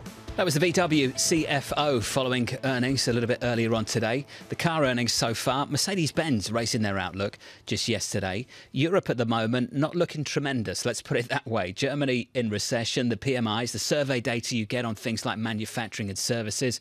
We got that earlier this week and the data didn't look great at all. But the ECB still has an inflation problem. Inflation, core inflation, still has a five handle, and the ECB wants to get that down to two. So most people believe they're going to hike interest rates a little bit later, in about 30 minutes from now, another 25 basis points. Joining us, I'm pleased to say, is Katharine Neiss of PGIM Fixed Income, who writes the following It seems too soon for the ECB to declare the job is done in terms of bringing inflation back to target. And so we expect a hawkish tone coupled with language that keeps all avenues open for September and beyond. Katharine, I'm pleased to say, joins us now. Katharine, wonderful to catch up with you. Let's start with the ECB decision. 25 basis points in 25 minutes is what most people anticipate. How difficult does this decision become as the growth backdrop starts to look worse and worse? It's going to be hard for the ECB to, to thread the needle. They've got to acknowledge that the euro area economy is weakening. You mentioned uh, some of those recent data coming in. Uh, some of them have been weakening, you know, quite quite markedly. Uh, and yet the backdrop is that inflation remains uncomfortably high. You know, if I compare the euro area to the U.S., we're just not seeing that consistent, compelling message uh, coming from the data that near-term inflationary trends are, are dropping off. So for them, they're going to need to try to strike a balance between keeping their options open in September without sounding overly dovish. Tricky balance. Especially at a time when we're hearing some confusing rhetoric out of previously Uber hawks on the board. How much has that colored your view in terms of confusing the message a little bit at a time when inflation clearly is the preeminent concern for central bank, uh, bankers whose mandate is exactly getting price stability? Well, I think it's a signal that the central bank is is getting near to, to peak rates. So whether or not they raise rates in September, uh, again, uh, like others, and you mentioned it earlier, I, I, expect the ECB to raise 25 basis points today. That's pretty much what they've told us to do. But whether they do so again in September, I think stepping back, big picture is that we are near peak rate based on what we're seeing from the, the data now, uh, but that the ECB is likely to hold rates at these higher levels for quite some time. So perhaps it's that that pivot point um, that's being reflected in, in, in some of these uh, the change in tone in some of the comments that you mentioned. We were talking about this about how the loan survey showing the steepest drop off in decades in terms of loan creation in the euro region is uh, potentially a problem for an ECB that would like to see an orderly uh, credit tightening. How do you expect them to frame this? How do you view this as affecting the European economy? Uh, I expect that this is going to be a key data point that is going to inform their uh, decision today. Uh, that's what the chief economist had mentioned, you know, in previous communications, and and it is a key input. It's telling us whether or not the transmission mechanism is working. And these data certainly do suggest that it is working. Um, you know, if, if, if we just do a mechanical backing out of the PMIs, which are generally speaking a pretty good indicator, a near term indicator of economic activity for the euro area, we're looking at a euro area that is effectively stagnating. Um, that's one thing. But is this potentially the beginning of a steeper and, and more marked contraction? And I think that's going to be the question mark over this ECB bank lending survey that you mentioned. That, of course, would be a concern. It's not the base case, I think, uh, at the minute, and that stagnation seems like the more likely outcome, which is why I suspect that rates are probably near their peak, but then stay at that relatively higher level for some time until we see that near term inflation momentum coming off. When you meet with your US colleagues and they talk about the difference between the US and Europe right now, Katharine, can you run us through the unique underpinnings of Eurozone inflation and why it might lead to a period of stagflation. Do you think that's underappreciated at all? Well, I think one thing we have to acknowledge is there is a war on the doorstep of Europe, and further negative supply shocks are definitely plausible. Um, and it may not be the base case, but I think it, it, would be premature to, to rule them out entirely. And so Europe is is exposed in in this way uh, that the U.S. is is not uh, it, exposed in the same way. So so that's one thing.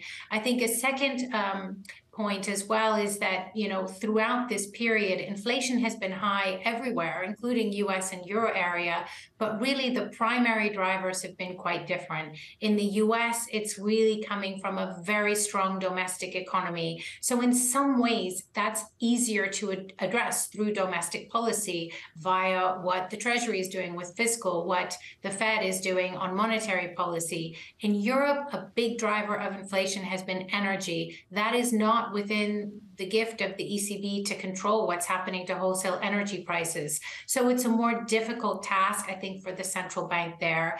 And then, of course, the ECB, uh, you know, is ever present having to deal with the potential of fragmentation risks. That too, I think, sets it apart from the US. So I, I think it's just more of a challenge in, in the euro area to um, get us back to a, a steady state. Katharine, if we could do just a little bit more scenario analysis, if you will, if we went into a period of stagflation in Europe, would this central bank be constrained by the fact that it has a single mandate, inflation? And how would you play that through the bond market? Could you just give me an idea of how you think about that kind of dynamic? So the ECB's uh, remit is is different from from the Fed. They they don't have the dual mandate as as you said. So you know they're they're really only focused on price stability. They can choose how price stability is is obtained, and their independence is enshrined in in in the treaty. So you know in a lot of ways people do say the ECB is probably one of the most independent central banks out there in terms of the governance framework, and that, of course, will be reflected in in the choices that that, that they are making in terms of policy. Um, you know, but I think that said recently, you know, there was a, a, bit of a wobble from the central banks, but I think both the Fed and the ECB have done a good job in terms of taking back control of the inflation narrative. And markets are much more confident now that uh, rates are near their peak and that central banks are going to deliver on their inflation targets uh, over the medium term. And that's going to help reduce volatility and, and continue to support more generally uh, this pickup in the search for yield that we've been seeing more recently. Katharine, thank you for being with us going into this ECB decision. Katharine Neiss there of PGIM Fixed Income. The ECB about 20 minutes away, Lisa. The prospect of stagflation in, in Europe is going to be a much, much bigger conversation, particularly if inflation remains as sticky as it has been in the Eurozone. And you raise a great distinction between the U.S. and Europe, with Europe having a single mandate and the uh, if U.S. is Fed having a dual mandate. At what point do they start to question whether they're actually effectively bringing down inflation with monetary policy. Again, how much do we have to ask? Have we lost the transmission of some of these policies after so many years of terming out debt into very low rate types of instruments? Well, Europe specifically, much more highly dependent on the banking channel. And given the data that we've had recently in the bank lending survey, you'd have to believe that that would hit growth and then bring down inflation. We've certainly seen it hit growth, at the moment we're waiting for to see if it brings inflation down in a sustainable way. And this where is where perhaps the pandemic distortions come into play because the labor shifts and some of the demands on the wage side have uh, challenged how quickly inflation can come down, which is the reason why the Bank of England has had the incredibly unsavory uh, type of view to say, just stop asking for raises. And that hit like a bag of How do you think that went down? How do you think that, I mean, on, honestly, the way, the way economists have talked about this inflation problem is just, it doesn't resonate with the public. You saw actually Fed Chair Powell understand that. And yesterday saying, we actually like it when wages increase more than the underlying inflation because he didn't want to be cast in the same kind of tone that we could see the Bank of England officials being cast in when they say things like, just stop asking for And that's the real dream, isn't it? You want stable prices, but you want the pay rise. That, that's Basically, yes. Of course. You're going to take this personal dream. 100%. Hey, you know, let's make it personal. It's personal for everyone. James Athey of Aberdeen on the European Central Bank joining us next. The ECB decision just around the corner, expecting another 25 basis point hike.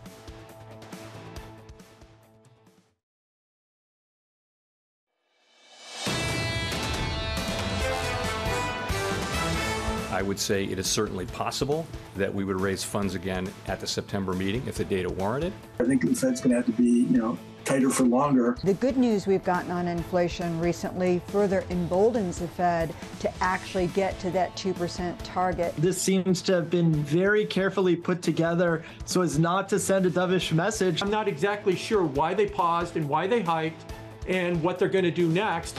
This is Bloomberg Surveillance with Tom Keene, Jonathan Ferro, and Lisa Abramowicz. The ECB coming up next. President Lagarde expected to hike 25 basis points. That decision is 15 minutes away. Live from New York City this morning. Good morning, good morning for our audience worldwide. This is Bloomberg Surveillance on TV and radio alongside Lisa Abramowicz. I'm Jonathan Ferro. Your equity market is positive by 0.6% on the S&P. Meta has been up in the pre-market by anywhere between 8 and 9% through much of this morning. Royal Caribbean, cruise line operator the fifth best performing stock on the S&P 500 so far year to date. That name is up by more than 100%. Came out with earnings just moments ago, raising the full year guidance. And listen to this new range. Full year adjusted EPS, $6 to 620. The previous forecast, Lisa, 440 to 480. That is a big upgrade. which is the reason why you're seeing uh, the stock uh, surge higher. It had been higher, much more. It has come off uh, some of the earlier highs. Here's the question How much longer can consumers keep spending on vacation? Is this a secular shift? We also saw Hertz earnings earlier this morning beating uh, expectations, even though used car prices were falling off because people are paying crazy prices. Have you rented a car recently? It's really high, it's gone up significantly, and people are still paying them. So, at what point do people run out of cash? It was supposed to be now. It's not happening. Beat and raise, Royal Caribbean, all over the place. To Lisa's point, the stock is up by 9%, but you've touched on the most important theme. Discretionary spending, away from tech, we talk about tech all the time. Discretionary spending has been a massive theme for this year. The airlines are up big, something like 40% plus for some of them American, United, Delta. The cruise line operators, three of the top performing 10 stocks on the S&P 500, Royal Caribbean, Carnival. There's two of them. There was a third in there as well at one point. Lisa, those names have been flying all year. Does that last beyond the summer? And as we get to the back end of the year, as things like student loan repayments resume, do we take that hit to discretionary spending that a lot of people are expecting? And if we don't, then that inflation story, that inflation story starts to bite back, and we have a very different conversation about the Federal Reserve. And if we do see that start to fall off, then all of a sudden is recession back on the table as a whole concept of soft landing not as preeminent, which raises this really odd tension at a moment where the Fed was embracing the soft landing, saying we are seeing strength and this is a good thing. And inflation should still fall off, and we're not sure, but we may not have to raise rates again. Is there an inherent conflict here as we look at all of these earnings come out that show that consumers have not yet run out of cash? They're still uh, willing to pay prices that are substantially higher. Which is why you hear the chairman in the news conference yesterday aggressively trying to retain optionality. Acknowledging the improvement, but at the same time saying, who knows, I'm not going to tell you what I'm going to do next. And that's going to be the game for the rest of the summer, isn't it? I love that. That was the most diplomatic thing I've ever heard you say, John. Maintaining maximum optionality. This is the words Don't of accuse saying. me of being diplomatic. this is the words of basically saying he said nothing, and he's going to do whatever he's going to do, and they're not giving forward guidance. And that's basically what we saw yesterday. Maximum optionality, indeed. Basically, you know, we could raise. Back in the could not. saddle. Isn't that what Mike Gapen said? What was that quote? Back in the saddle with maximum optionality. Something like was, that. That was Mike Gapen of Bank of America. Let's turn to the price action on the S&P 500 up by 0.7% on the S&P. In the bond market, yields unchanged at 387. Lisa went through the economic data that you can expect a little bit later. We get GDP, we get jobless claims. Labour market's going to be a big focus, of course, Lisa, because at the moment unemployment's at 3.5%. claims. We had the right kind of downside surprise last week on jobless claims. I mean, much better than expected. Doesn't scream recession right now, looking at some of those indicators. It doesn't even scream any kind of softening in the labor market, which was something that the Fed has said that they wanted. Yesterday, though, we heard a different tone from the central bank. We heard that maybe they could get to some sort of decline in inflation without losing jobs. I mean, we've gone to the no pain type of scenario, which brings us to Jackson Hole. Are we going to hear any kind of resurrection of we need to take pain? This is going to be rough. And oh, yeah, it's eight minutes. I'm going to go. I mean, is that what we're going to hear this time around? Haven't seen that pain, have we? I imagine it's going to be a very different address if we get one. Based on his comments yesterday, maybe he doesn't turn up to do a speech at Jackson Hole. he didn't seem too interested. The runway for the rest of the week, the ECB in 10 minutes' time, after you get that decision, 30 minutes later, we'll have the news conference. We'll take that here on Bloomberg TV and Bloomberg Radio. Overnight into tomorrow, the BOJ. That's the central banking trilogy of the week. The Fed yesterday, the ECB, then the BOJ, then onto next week, it's the Bank of England. Joining us now for a preview of the ECB, James Athey, Investment Director at Aberdeen. James, much harder decision for the Governing Council and the European Central Bank. The Fed has the luxury of saying growth is good, the labour market's strong.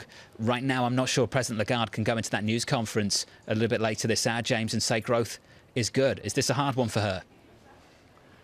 Uh, hey, John. I mean, you, you could argue it's a little bit easier because, again, these uh, the, the transmission for monetary policy to influence inflation is largely via demand. So if anything, the ECB is facing a slightly easier task because they can see that demand and forward demand through things like the bank lending survey are already softening and softening significantly, which suggests that their policy is further into uh, restrictive territory and maybe they can more um, convincingly consider the end. Whereas, you know, as you guys were just discussing, if the US consumer doesn't die down, if the US labour market doesn't soften, it's difficult to believe that they've found equilibrium and it, and it feels like they would have to come back to the table. So the communication is difficult because we're moving from this very backward looking policy stance into something highly data dependent. Central bankers know that markets have a tendency to get carried away and, and they don't want that easing of financial conditions. But that's a problem they cannot really resolve. I think we'll see a very similar outcome today non committal, not really full of information. Meanwhile, we've been talking about the bank lending transmission mechanism in Europe, and John rightly pointed out that it is more sensitive uh, to uh, this type of contraction, which we've heard and we've seen. What are you experiencing? What are you seeing on the ground in terms of how quickly credit is contracting in the euro region? Well, I mean, that's yeah, difficult to say on the ground. I think we all have to rely on, on the data as we see it. And I look at the contents of, of the bank lending survey, and I think more pertinently on the demand side than the supply side. You know, of course, uh, supply conditions matter, they always do. But what matters for judging the stance of and transmission of monetary policy is more about the demand for loans. And we can see that that really does look incredibly soft across the Eurozone. If you look at the sort of pre pandemic estimates for neutral rates in Europe and the US, maybe half a percent in the in the eurozone and maybe two and a half percent in the US. There's 200 basis points between them, but actually there's only 100 150 basis points uh, between the, the cash rates. So that alone suggests that European policy is already tighter uh, than US policy. And, and I do think we see that in the data. And that's without even getting to the structural challenges in the Eurozone. We've got to talk about some of those challenges now on the ground in Frankfurt, Germany. Bloomberg's Maria Tadeo outside of the ECB headquarters. Maria, just frame how difficult this is going to be for the European Central Bank in 30 minutes' time for President Lagarde when she has to deliver that news conference. Well, this is going to be a very difficult communications exercise for the head of the European Central Bank because, on the one hand, we know they will hike 25 basis points. That was the guidance to the market, and everyone is well calibrated for that. But the big question is what happens next. And you've talked about this range of data, some of it very soft when you look at the PMIs. And it wasn't just Germany this week. You also had significant uh, downturns coming also from economies like France. We also had that lending survey, which we know they look at, but then core inflation sticky. So, again, the market will be focused on any guidance, any bias potentially in this decision, but I'm not sure they want to do that. If anything, the European Central Bank, you could argue, wants to go for the most neutral possible, the most options open. Look at the data. Say we go back to VM, very data dependent, and look back in September where we are. So I think it's going to be a tricky exercise. There will be a lot of questions to try to get an indication of where they want to go, but I'm not sure she wants to do that yet. You follow the speakers. We heard from Klaas Knot of the Netherlands recently in the last couple of weeks. The individual members of the governing council, the traditional hawks, Maria, do you sense from them that even they are unsure about what comes next after July? Uh, yeah, and remember, uh, Jonathan, this was presented today, July, as a quote necessity for the central bank. When it comes to September, we've seen maybe it's now 50 50, maybe it's now an open call. Maybe we need to look at the data again. They're waiting for new projections in September. So I think there's been a, almost a rethinking uh, over the past two weeks. What I'm also curious to hear about is, and this will be, I'm sure, a question, is this idea of rate cuts potentially earlier than expected. That would be the worst case scenario for the central bank to have inflation that is above target and get all this chit chat in markets about potentially, because of the state of the economy, cutting beforehand. I'm also very curious as to see can she shut it down and how will she push back against that idea? We're about five minutes away from that ECB rate decision. Still with us, James Athey of Aberdeen. And James, I'd love your take on the data dependency, the maximum optionality that we're hearing, certainly from the Fed, and as Maria was suggesting, from the ECB uh, coming up as well. What data are you honed in on? Are you going to be trading more aggressively on data in a new way? Yeah, I mean that's unfortunately the game of investing. It, it really is John uh, John Maynard Keynes' beauty contest. Much as I would like to look more heavily at the, the most forward-looking data, the fact of the matter is that the markets are still somewhat focused on the most lagging indicators. That's jobs and inflation. So I think some balance between the two is probably the right path to tread. I agree with Maria completely. The ECB really doesn't want to give a strong signal one way or the other. Uh, there is definitely persistent weakness across the manufacturing sector. That's much more significant in the Eurozone than it is in the US. We're now starting to see softening in the service sector as well, and that, that is good news. But of course, none of these central banks want to box them in. You know, to Nick John's words, they want maximum optionality. So some sort of obfuscation, constructional, uh, constructive ambiguity is what we're likely to see. I think once these risk events are out the way, the market at the moment is in the mood to then run with the themes and the trades that it wanted to run with anyway. So I think we saw that in the US last night. Weaker dollar, risk on, probably lower yields for the summer. That's what I'm expecting, and I don't expect uh, Madame Lagarde to, to necessarily put a hole in that this afternoon. Do you expect the dollar to weaken and the euro to strengthen because of the US or because of Europe's actions? Well, I think the, the, dollar is weakening because it's become a bit of a self fulfilling prophecy. The market always has a bias to want a weaker dollar because risk tends to perform better in a weak dollar environment. The market has been and continues to love the carry trade. That generally involves at least selling dollar as an intermediate step. But I look at the dynamics currently, and it doesn't necessarily look like a weak dollar environment to me. US rates are higher than European rates. The European data is rolling over far more quickly uh, as a general rule, that looks like a reasonably uh, solid dollar environment versus the euro. So we're marginally long the dollar here. We think already the market's got a little bit overexcited, but short term, as I say, the market tends to run with the themes it wants to. I think positioning is a bigger headwind, a bigger headwind medium term. What's you new see about what you that, wanted, James? right? We I know it's yeah, always the exactly. way. Everybody sees what they want to. It's always the way, James. I just wonder. I know what investors want. They'd like a big easing program out of China. Do you think that's what policymakers on the governing council would like to see right now? Would that be welcomed by them? Yeah, I mean, that's a really good question. I, I'm not sure there's necessarily a huge supply side stimulus from China easing aggressively. So that might actually complicate their picture, add to demand without an offset via supply. I think. I think the central bank would like to see inflation closer to 2% by hook or by crook and then they can worry about the balance between supply and demand and how, how stimulatory or how restrictive their policy is. For what it's worth, I don't think China's going to engage in the sort of massive stimulus we've seen in 2015, 16, or 2007 and 8. I think there's a lot of adjustment and fiddling around the edges. I don't think they're going to go back to, to the sort of debt funded infrastructure investment stimulus that we've seen historically. So I don't think there's a massive um, impulse for Europe uh, coming from China. So far, lots of people would agree with you. We are about 60 seconds away from that ECB rate decision. Before I get to that, I think we've got to talk about the prospect of a European central bank hiking into stagflation.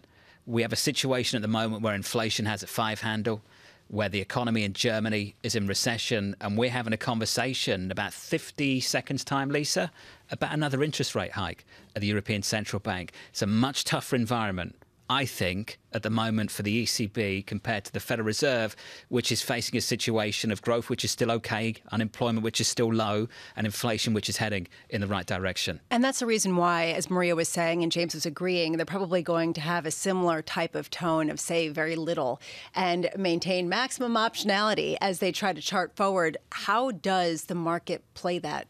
As we do get data points? Do the data really start to take on new significance? John? I'm not going to take credit for maximum optionality because I'm pretty sure I just ripped that off Mike Gapen of Bank of America.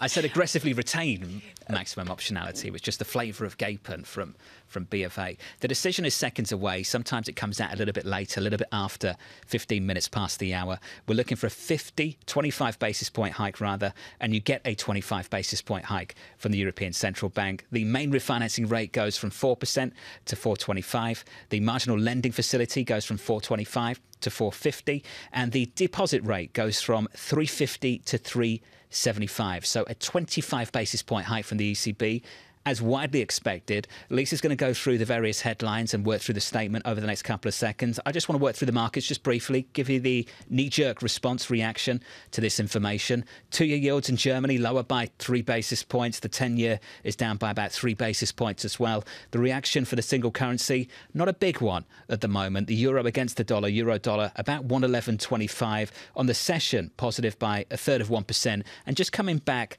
just a touch. Lisa, what do you see?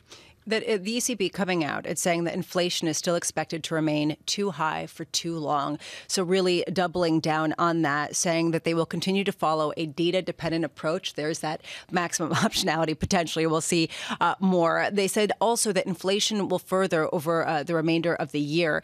Basically, the goal here is to ensure that rates are sufficiently restrictive. This ends up becoming a question around what does sufficiently restrictive mean at a time when this same body, the ECB is saying that inflation is expected to stay above target for an extended period of time. Is that meaning that there still is sufficiently restrictive rates if you do have inflation that still is too high, John? Just want to work through the statement for you, the full body of that statement. Just a couple of quotes to share with you all.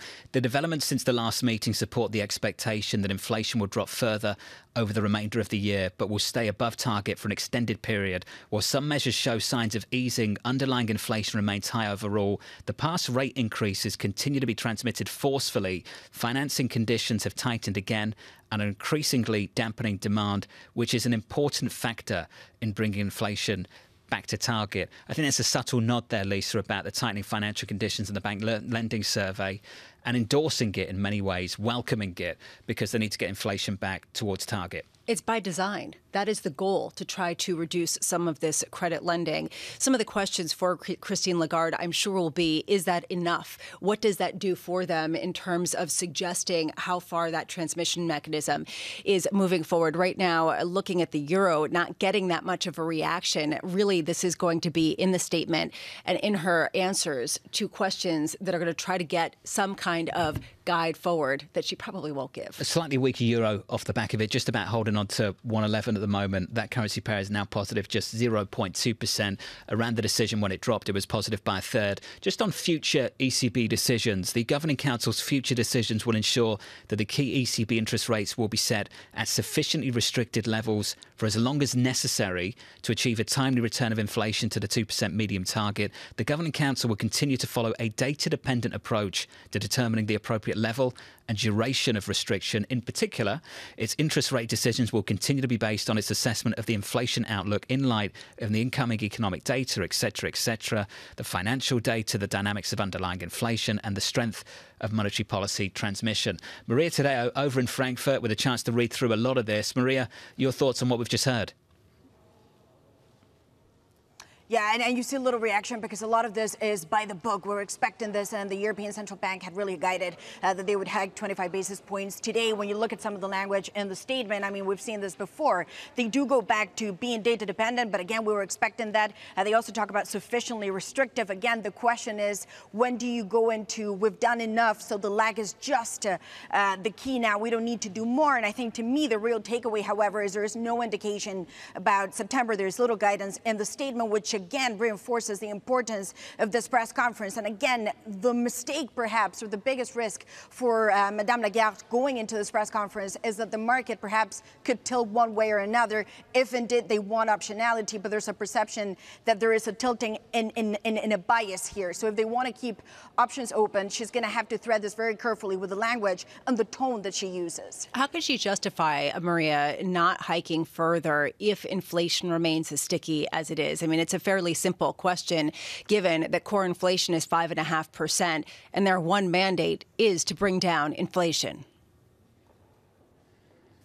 Yeah, it is a single mandate central bank. And of course, they look at headline inflation that cools down as soon as energy prices go down. But we know they focus on core inflation that is stick at 5.5%. So not a lot has changed on that. I think the fundamental question, and this is the biggest intellectual debate that is going on in this bank, has to do with the transmission.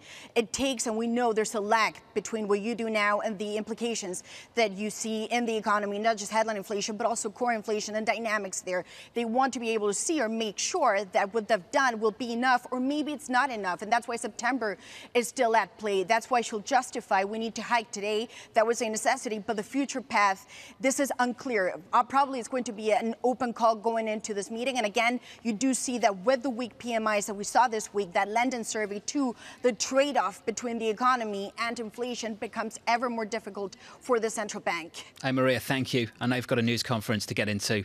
We appreciate your time. Maria Tadeo there over at ECB HQ at the headquarters of the European Central Bank. That news conference starts in about 20 four minutes' time for Christine Lagarde and the ECB president. If you are just tuning in, welcome. 25 basis point hike from the ECB, and rather like the Federal Reserve offering very little guidance about the future. The phrase of the last 24 hours for the Fed, maximum optionality. I think that phrase, of course, applicable to the ECB this morning based on what we've heard so far. The euro selling off a little bit following the decision near session lows. The euro still just about positive. A break of 111 though at 110.98. We roll over there. A rally in the bond market in Germany. The two-year yield there is now lower by eight basis points to about three percent on a German two-year. James Athey of Aberdeen back with us for a little bit more. James, just some thoughts on this decision. Do you get the feeling, and I wonder if this is endorsed in the news conference, that this ECB is starting to put more weight on the growth data and maybe a little less, just respectively, relatively speaking, on the inflation data? Yeah, I do, John, and, and I think that's absolutely right. It was the early phase of this process was very much a case of central banks just being in completely the wrong ballpark. They had monetary policy which was effectively easier than you know five, six, seven years of, of low growth, low inflation, and they were staring down the barrel of you know this wild money growth and incredible inflation dynamic. So those first six, nine, 12 months were very much about catching up. But the later you get into that process, the later we get into the cycle, the more they have to be looking out of the front window and less looking out of the rear window because, as yourselves and, and Maria have just said, we know that these policies operate with lags. The transmissions are not well understood. You know, economists don't really like to admit this stuff, but our understanding of this complex machinery is very partial indeed. And so you know, at some stage you have to try and balance the various considerations, even if you just have an inflation mandate. Because again, the only way that monetary policy can influence inflation is the very blunt way of, of being a headwind to demand. And so it is natural and reasonable when you think you're getting closer to the end of that process to start to consider forward inflation, to start to consider your forecasts for inflation to a greater degree than data released today, which tells you more about where policy was a year ago. Right now, we're seeing a little reaction, although on the margins, you are seeing a rally in German bonds, and you're hearing, uh, as John mentioned, a bit of a softening in the euro versus the initial reaction versus the dollar. Is this enough to really get you a sense that this is a more dovish or less hawkish ECB and give you confidence to even lean into European sovereign bonds a little bit more? I think the problem, Lisa, is that a data dependent means that my forecasts for the economic data probably matter more than my assessment of the reaction function of the committee, of the individuals on the committee. I did think, and again, this was something you guys mentioned earlier, I did think that the speech by Klaas Knot was really significant because he's been a dyed in the wool hawk and he really did elucidate this idea of the risks of policy error shifting more and more towards the hawkish era. I think that's very relevant information. But if we're all wrong about the inflation outlook and core inflation goes from five and a half to six, not five and a half to five, then it's no use that we thought that the ECB was evolving in a dovish direction today. And that is why there has been such a tricky market environment because actually the economic data itself has been rather volatile and rather difficult to explain through a kind of all-encompassing macro lens. James, that being said, medium term, I do expect it to slow. We've got about 60 seconds. If you could, a question for Lagarde in this news conference for the press. James, what would it be?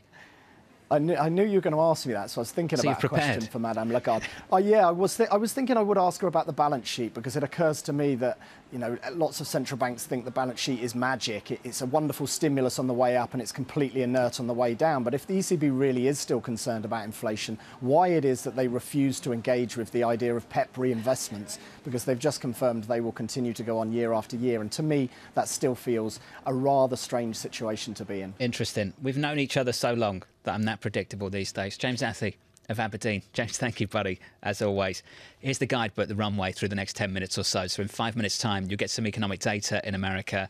We'll get some GDP numbers, initial jobless claims, all of that good stuff. Lisa and Mike McKee will break that down. They'll be caught up with, uh, they'll be catching up with Vince Reinhart of BNY Mellon Asset Management. So, look out for that conversation. Going through the opening bell after that news conference wraps up. It will start, by the way, with President Lagarde in 20 minutes' time. We'll come out the other side and break it down with Winnie Cisar of CreditSights and Peter Tchir of Academy Securities. All of that still to come. Data in America in just a moment. A press conference with Christine Lagarde starting in 20 minutes' time. And an equity market that's elevated through most of this morning. We're positive by 0.7%. From New York, this is Bloomberg.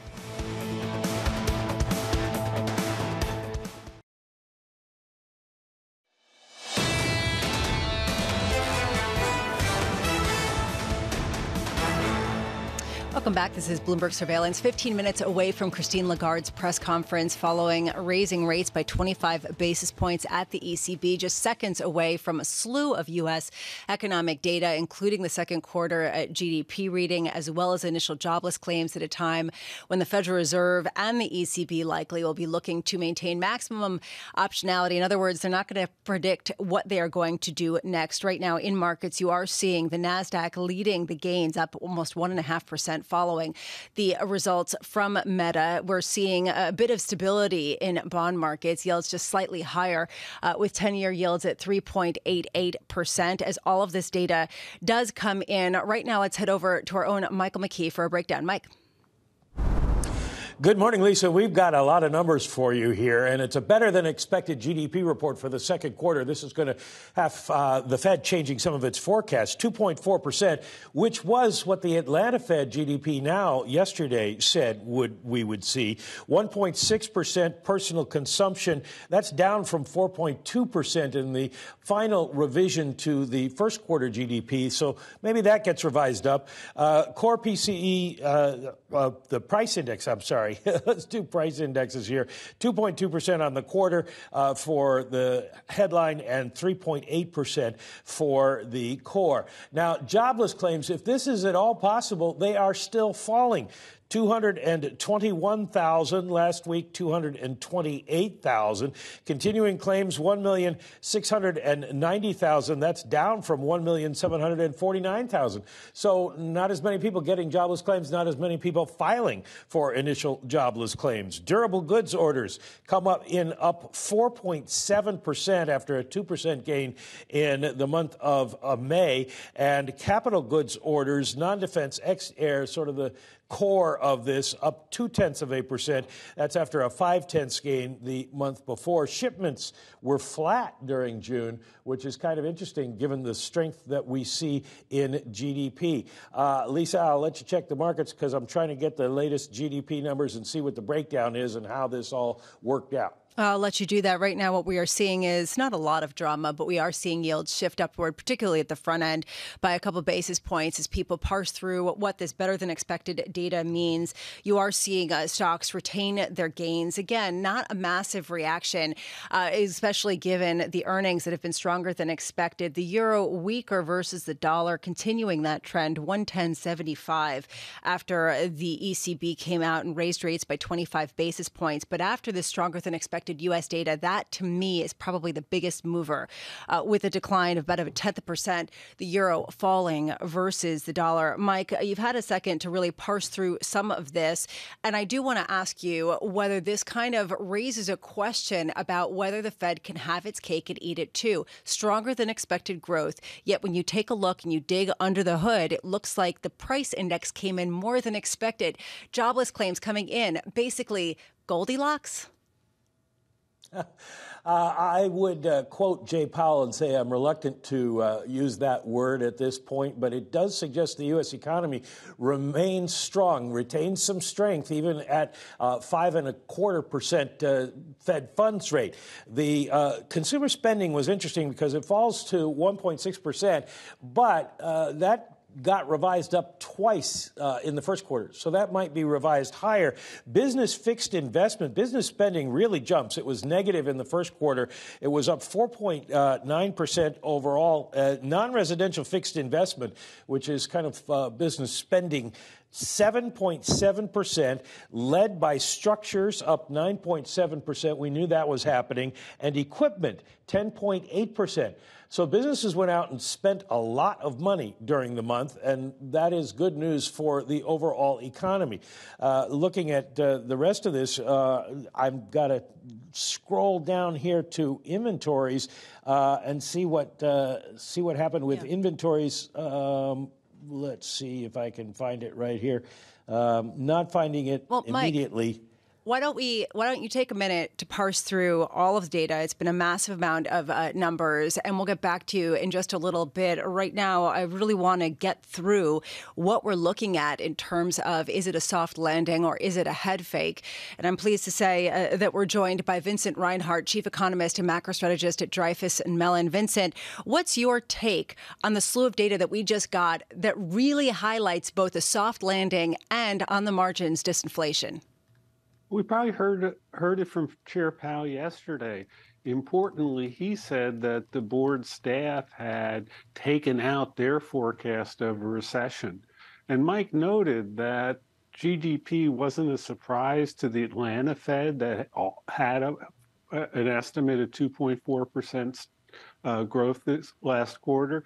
Uh, board staff invest a lot of resources in doing the same thing. So I don't really think that this morning uh, in, certainly from the national income accounts, was that much of a surprise. Big question is, does it make it more or less likely there's a soft landing? Uh, sure leans that way, but it's one data point. That's what Chair Powell would say at this point. What do you make of initial jobless claims? Second consecutive month that there's yeah. been an upside surprise, or at least a positive downside surprise. Basically, there are fewer people filing for unemployment than previously expected in the prior month. How does this confirm with the idea that we need a, a loosening labor market in order to achieve disinflation? Yeah, so the other part of soft landing is new productivity. Uh, that we are getting very strong employment growth uh, that is at least matching that that and output. We're, we're we're not gaining anything in terms of output per hour. Among other things, that means that wage gains are more serious uh, because there's no cushion between uh, what firms pay workers and what they what they produce. Uh, I think that uh, among other things, um, you know, the, the main takeaway is uh, tight la- labor market is fueling household income, and household income is supporting consumption. Which is hard reason- to get a recession that way Which is a reason why some people are wondering uh, whether this is somewhat of an uncomfortable rationale that you're seeing strengthen the economy, and yet the Fed is moving away from any forward guidance of further rate hikes. Do you think that this is a mistake, that there wasn't a, a greater indication to markets that the Fed did plan to raise rates again once in this particular year, considering that Rich Clarida earlier on this show said that he, if he were still on the Fed, would vote to raise rates again this fall? Uh, well, last guidance was that they would raise rates in the summary of economic projections. Chair Powell is pretty confusing. Uh, he wanted to uh, assert very strongly that every decision is, every meeting is live, that every meeting is made based on the data. But in fact, there's, there seemed to be guiding us to a slower pace of policy firming firming, 12 and a half basis points a meeting on average. Um, that sounds like a committee that is number one, divided, uh, and number two, pretty close to the end. Do you, get, uh, do you get the sense as you look through this data uh, that there is strength in the economy, that perhaps they're not really watching closely enough, that there does seem to be something that could reignite inflation later in the year? Uh, so I think they're watching closely the data. They see the strength in the economy, and if you're Chair Powell, you're encouraged by it. He's never really uh, had a hard hard landing in his his outlook.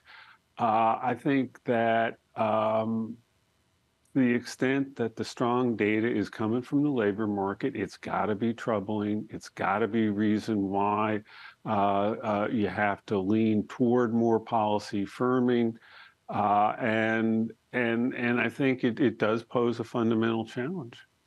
Are you concerned that there isn't more dissent, at least publicly, on the Federal Reserve at a time where, as you said, it was somewhat confusing and it seems as though there's a bit of a herding cats type of trend going on there? So I think we saw, uh, uh, you know, the, the, division in the committee just by the two press conferences in a succession.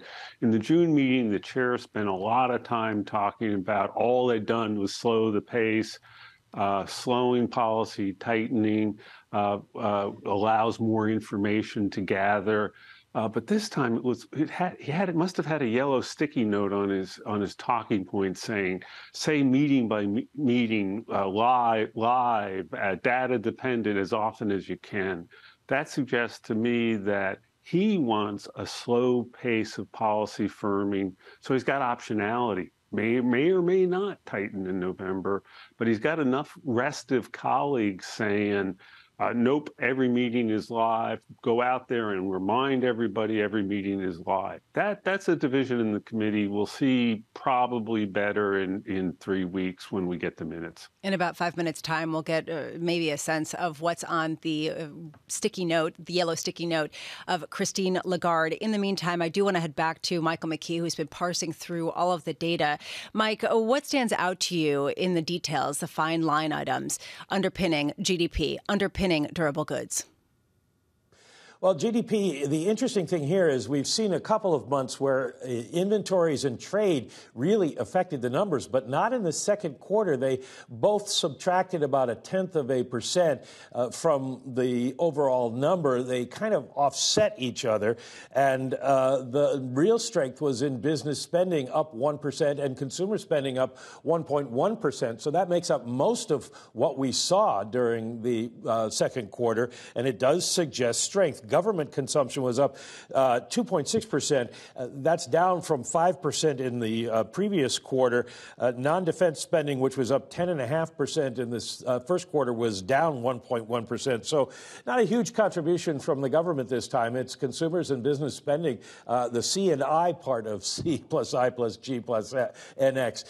and in terms of durable goods, it's just overall good news that there is some spending, but it did slow in the capital goods non-defense area. So we'll see what kind of contribution that we get from durable goods when we go into the next month. I think the Fed looks at uh, today's numbers and has obviously has to change their forecast for GDP for the year at the September meeting. And uh, the jobless claims numbers uh, just tell the Fed that we're not going to see uh, unemployment start to rise uh, in the near future. So they may have to adjust those as well.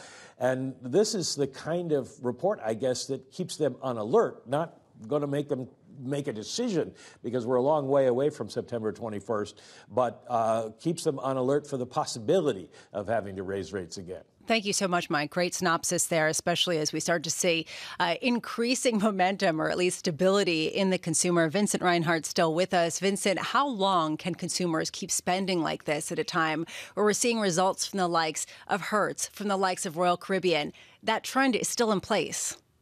Uh, so a couple things. They still have the retained uh, uh, fiscal transfers they got in 2020 and 2021.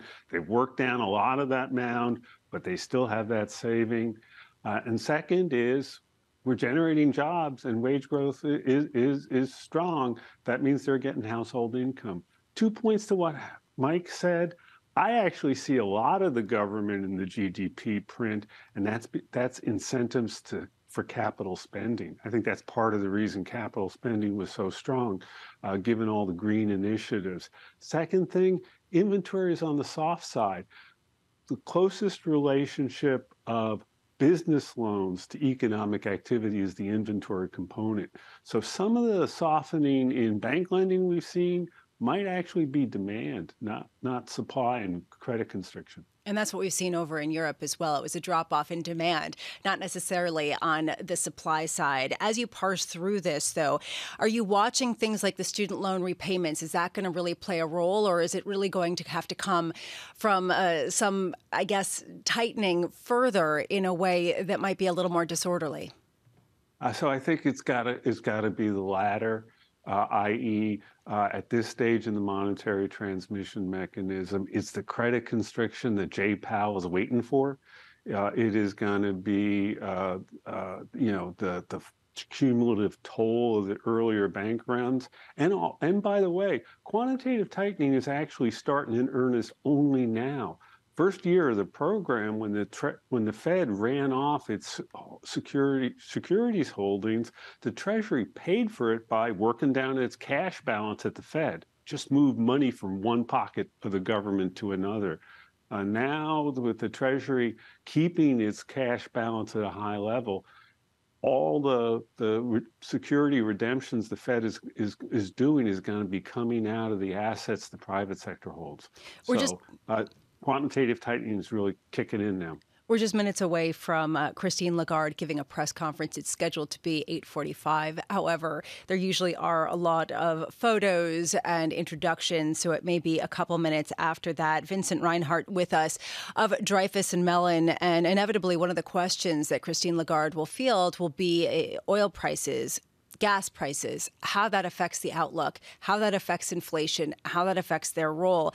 As uh, we talk about that, we're seeing oil prices climb to the highest levels going back to April uh, and climbing, uh, hitting $80 a barrel for the first time since then. Vincent, how does potentially higher oil prices, higher energy prices more broadly affect a debate that uh, has really been supported, the disinflation by lower energy prices? Much harder for Christine Lagarde to answer that question than Jay Powell because the, the U.S. is is an energy balance. We're actually net ex- energy exporter. Uh, for the European economy, an enormous energy importer, in which case an oil price shock is just nothing but bad. It adds to cost, but it also pulls out income from domestic resi- from residents to the foreign sector. Uh, that uh, a, good portion, as you note, of the favorable inflation dynamics at the headline level over the last six months has been the decline in commodity prices generally, energy specifically, and the repair of the goods market. Repair of the goods market is continuing in, yeah. in the sense of uh, uh, supply chains getting better. But the reversal of energy prices uh, is going to add to cost in Europe and is going to hit hit demand through income. Vincent Reinhart of Dreyfus and Mellon, thank you so much uh, for being with us.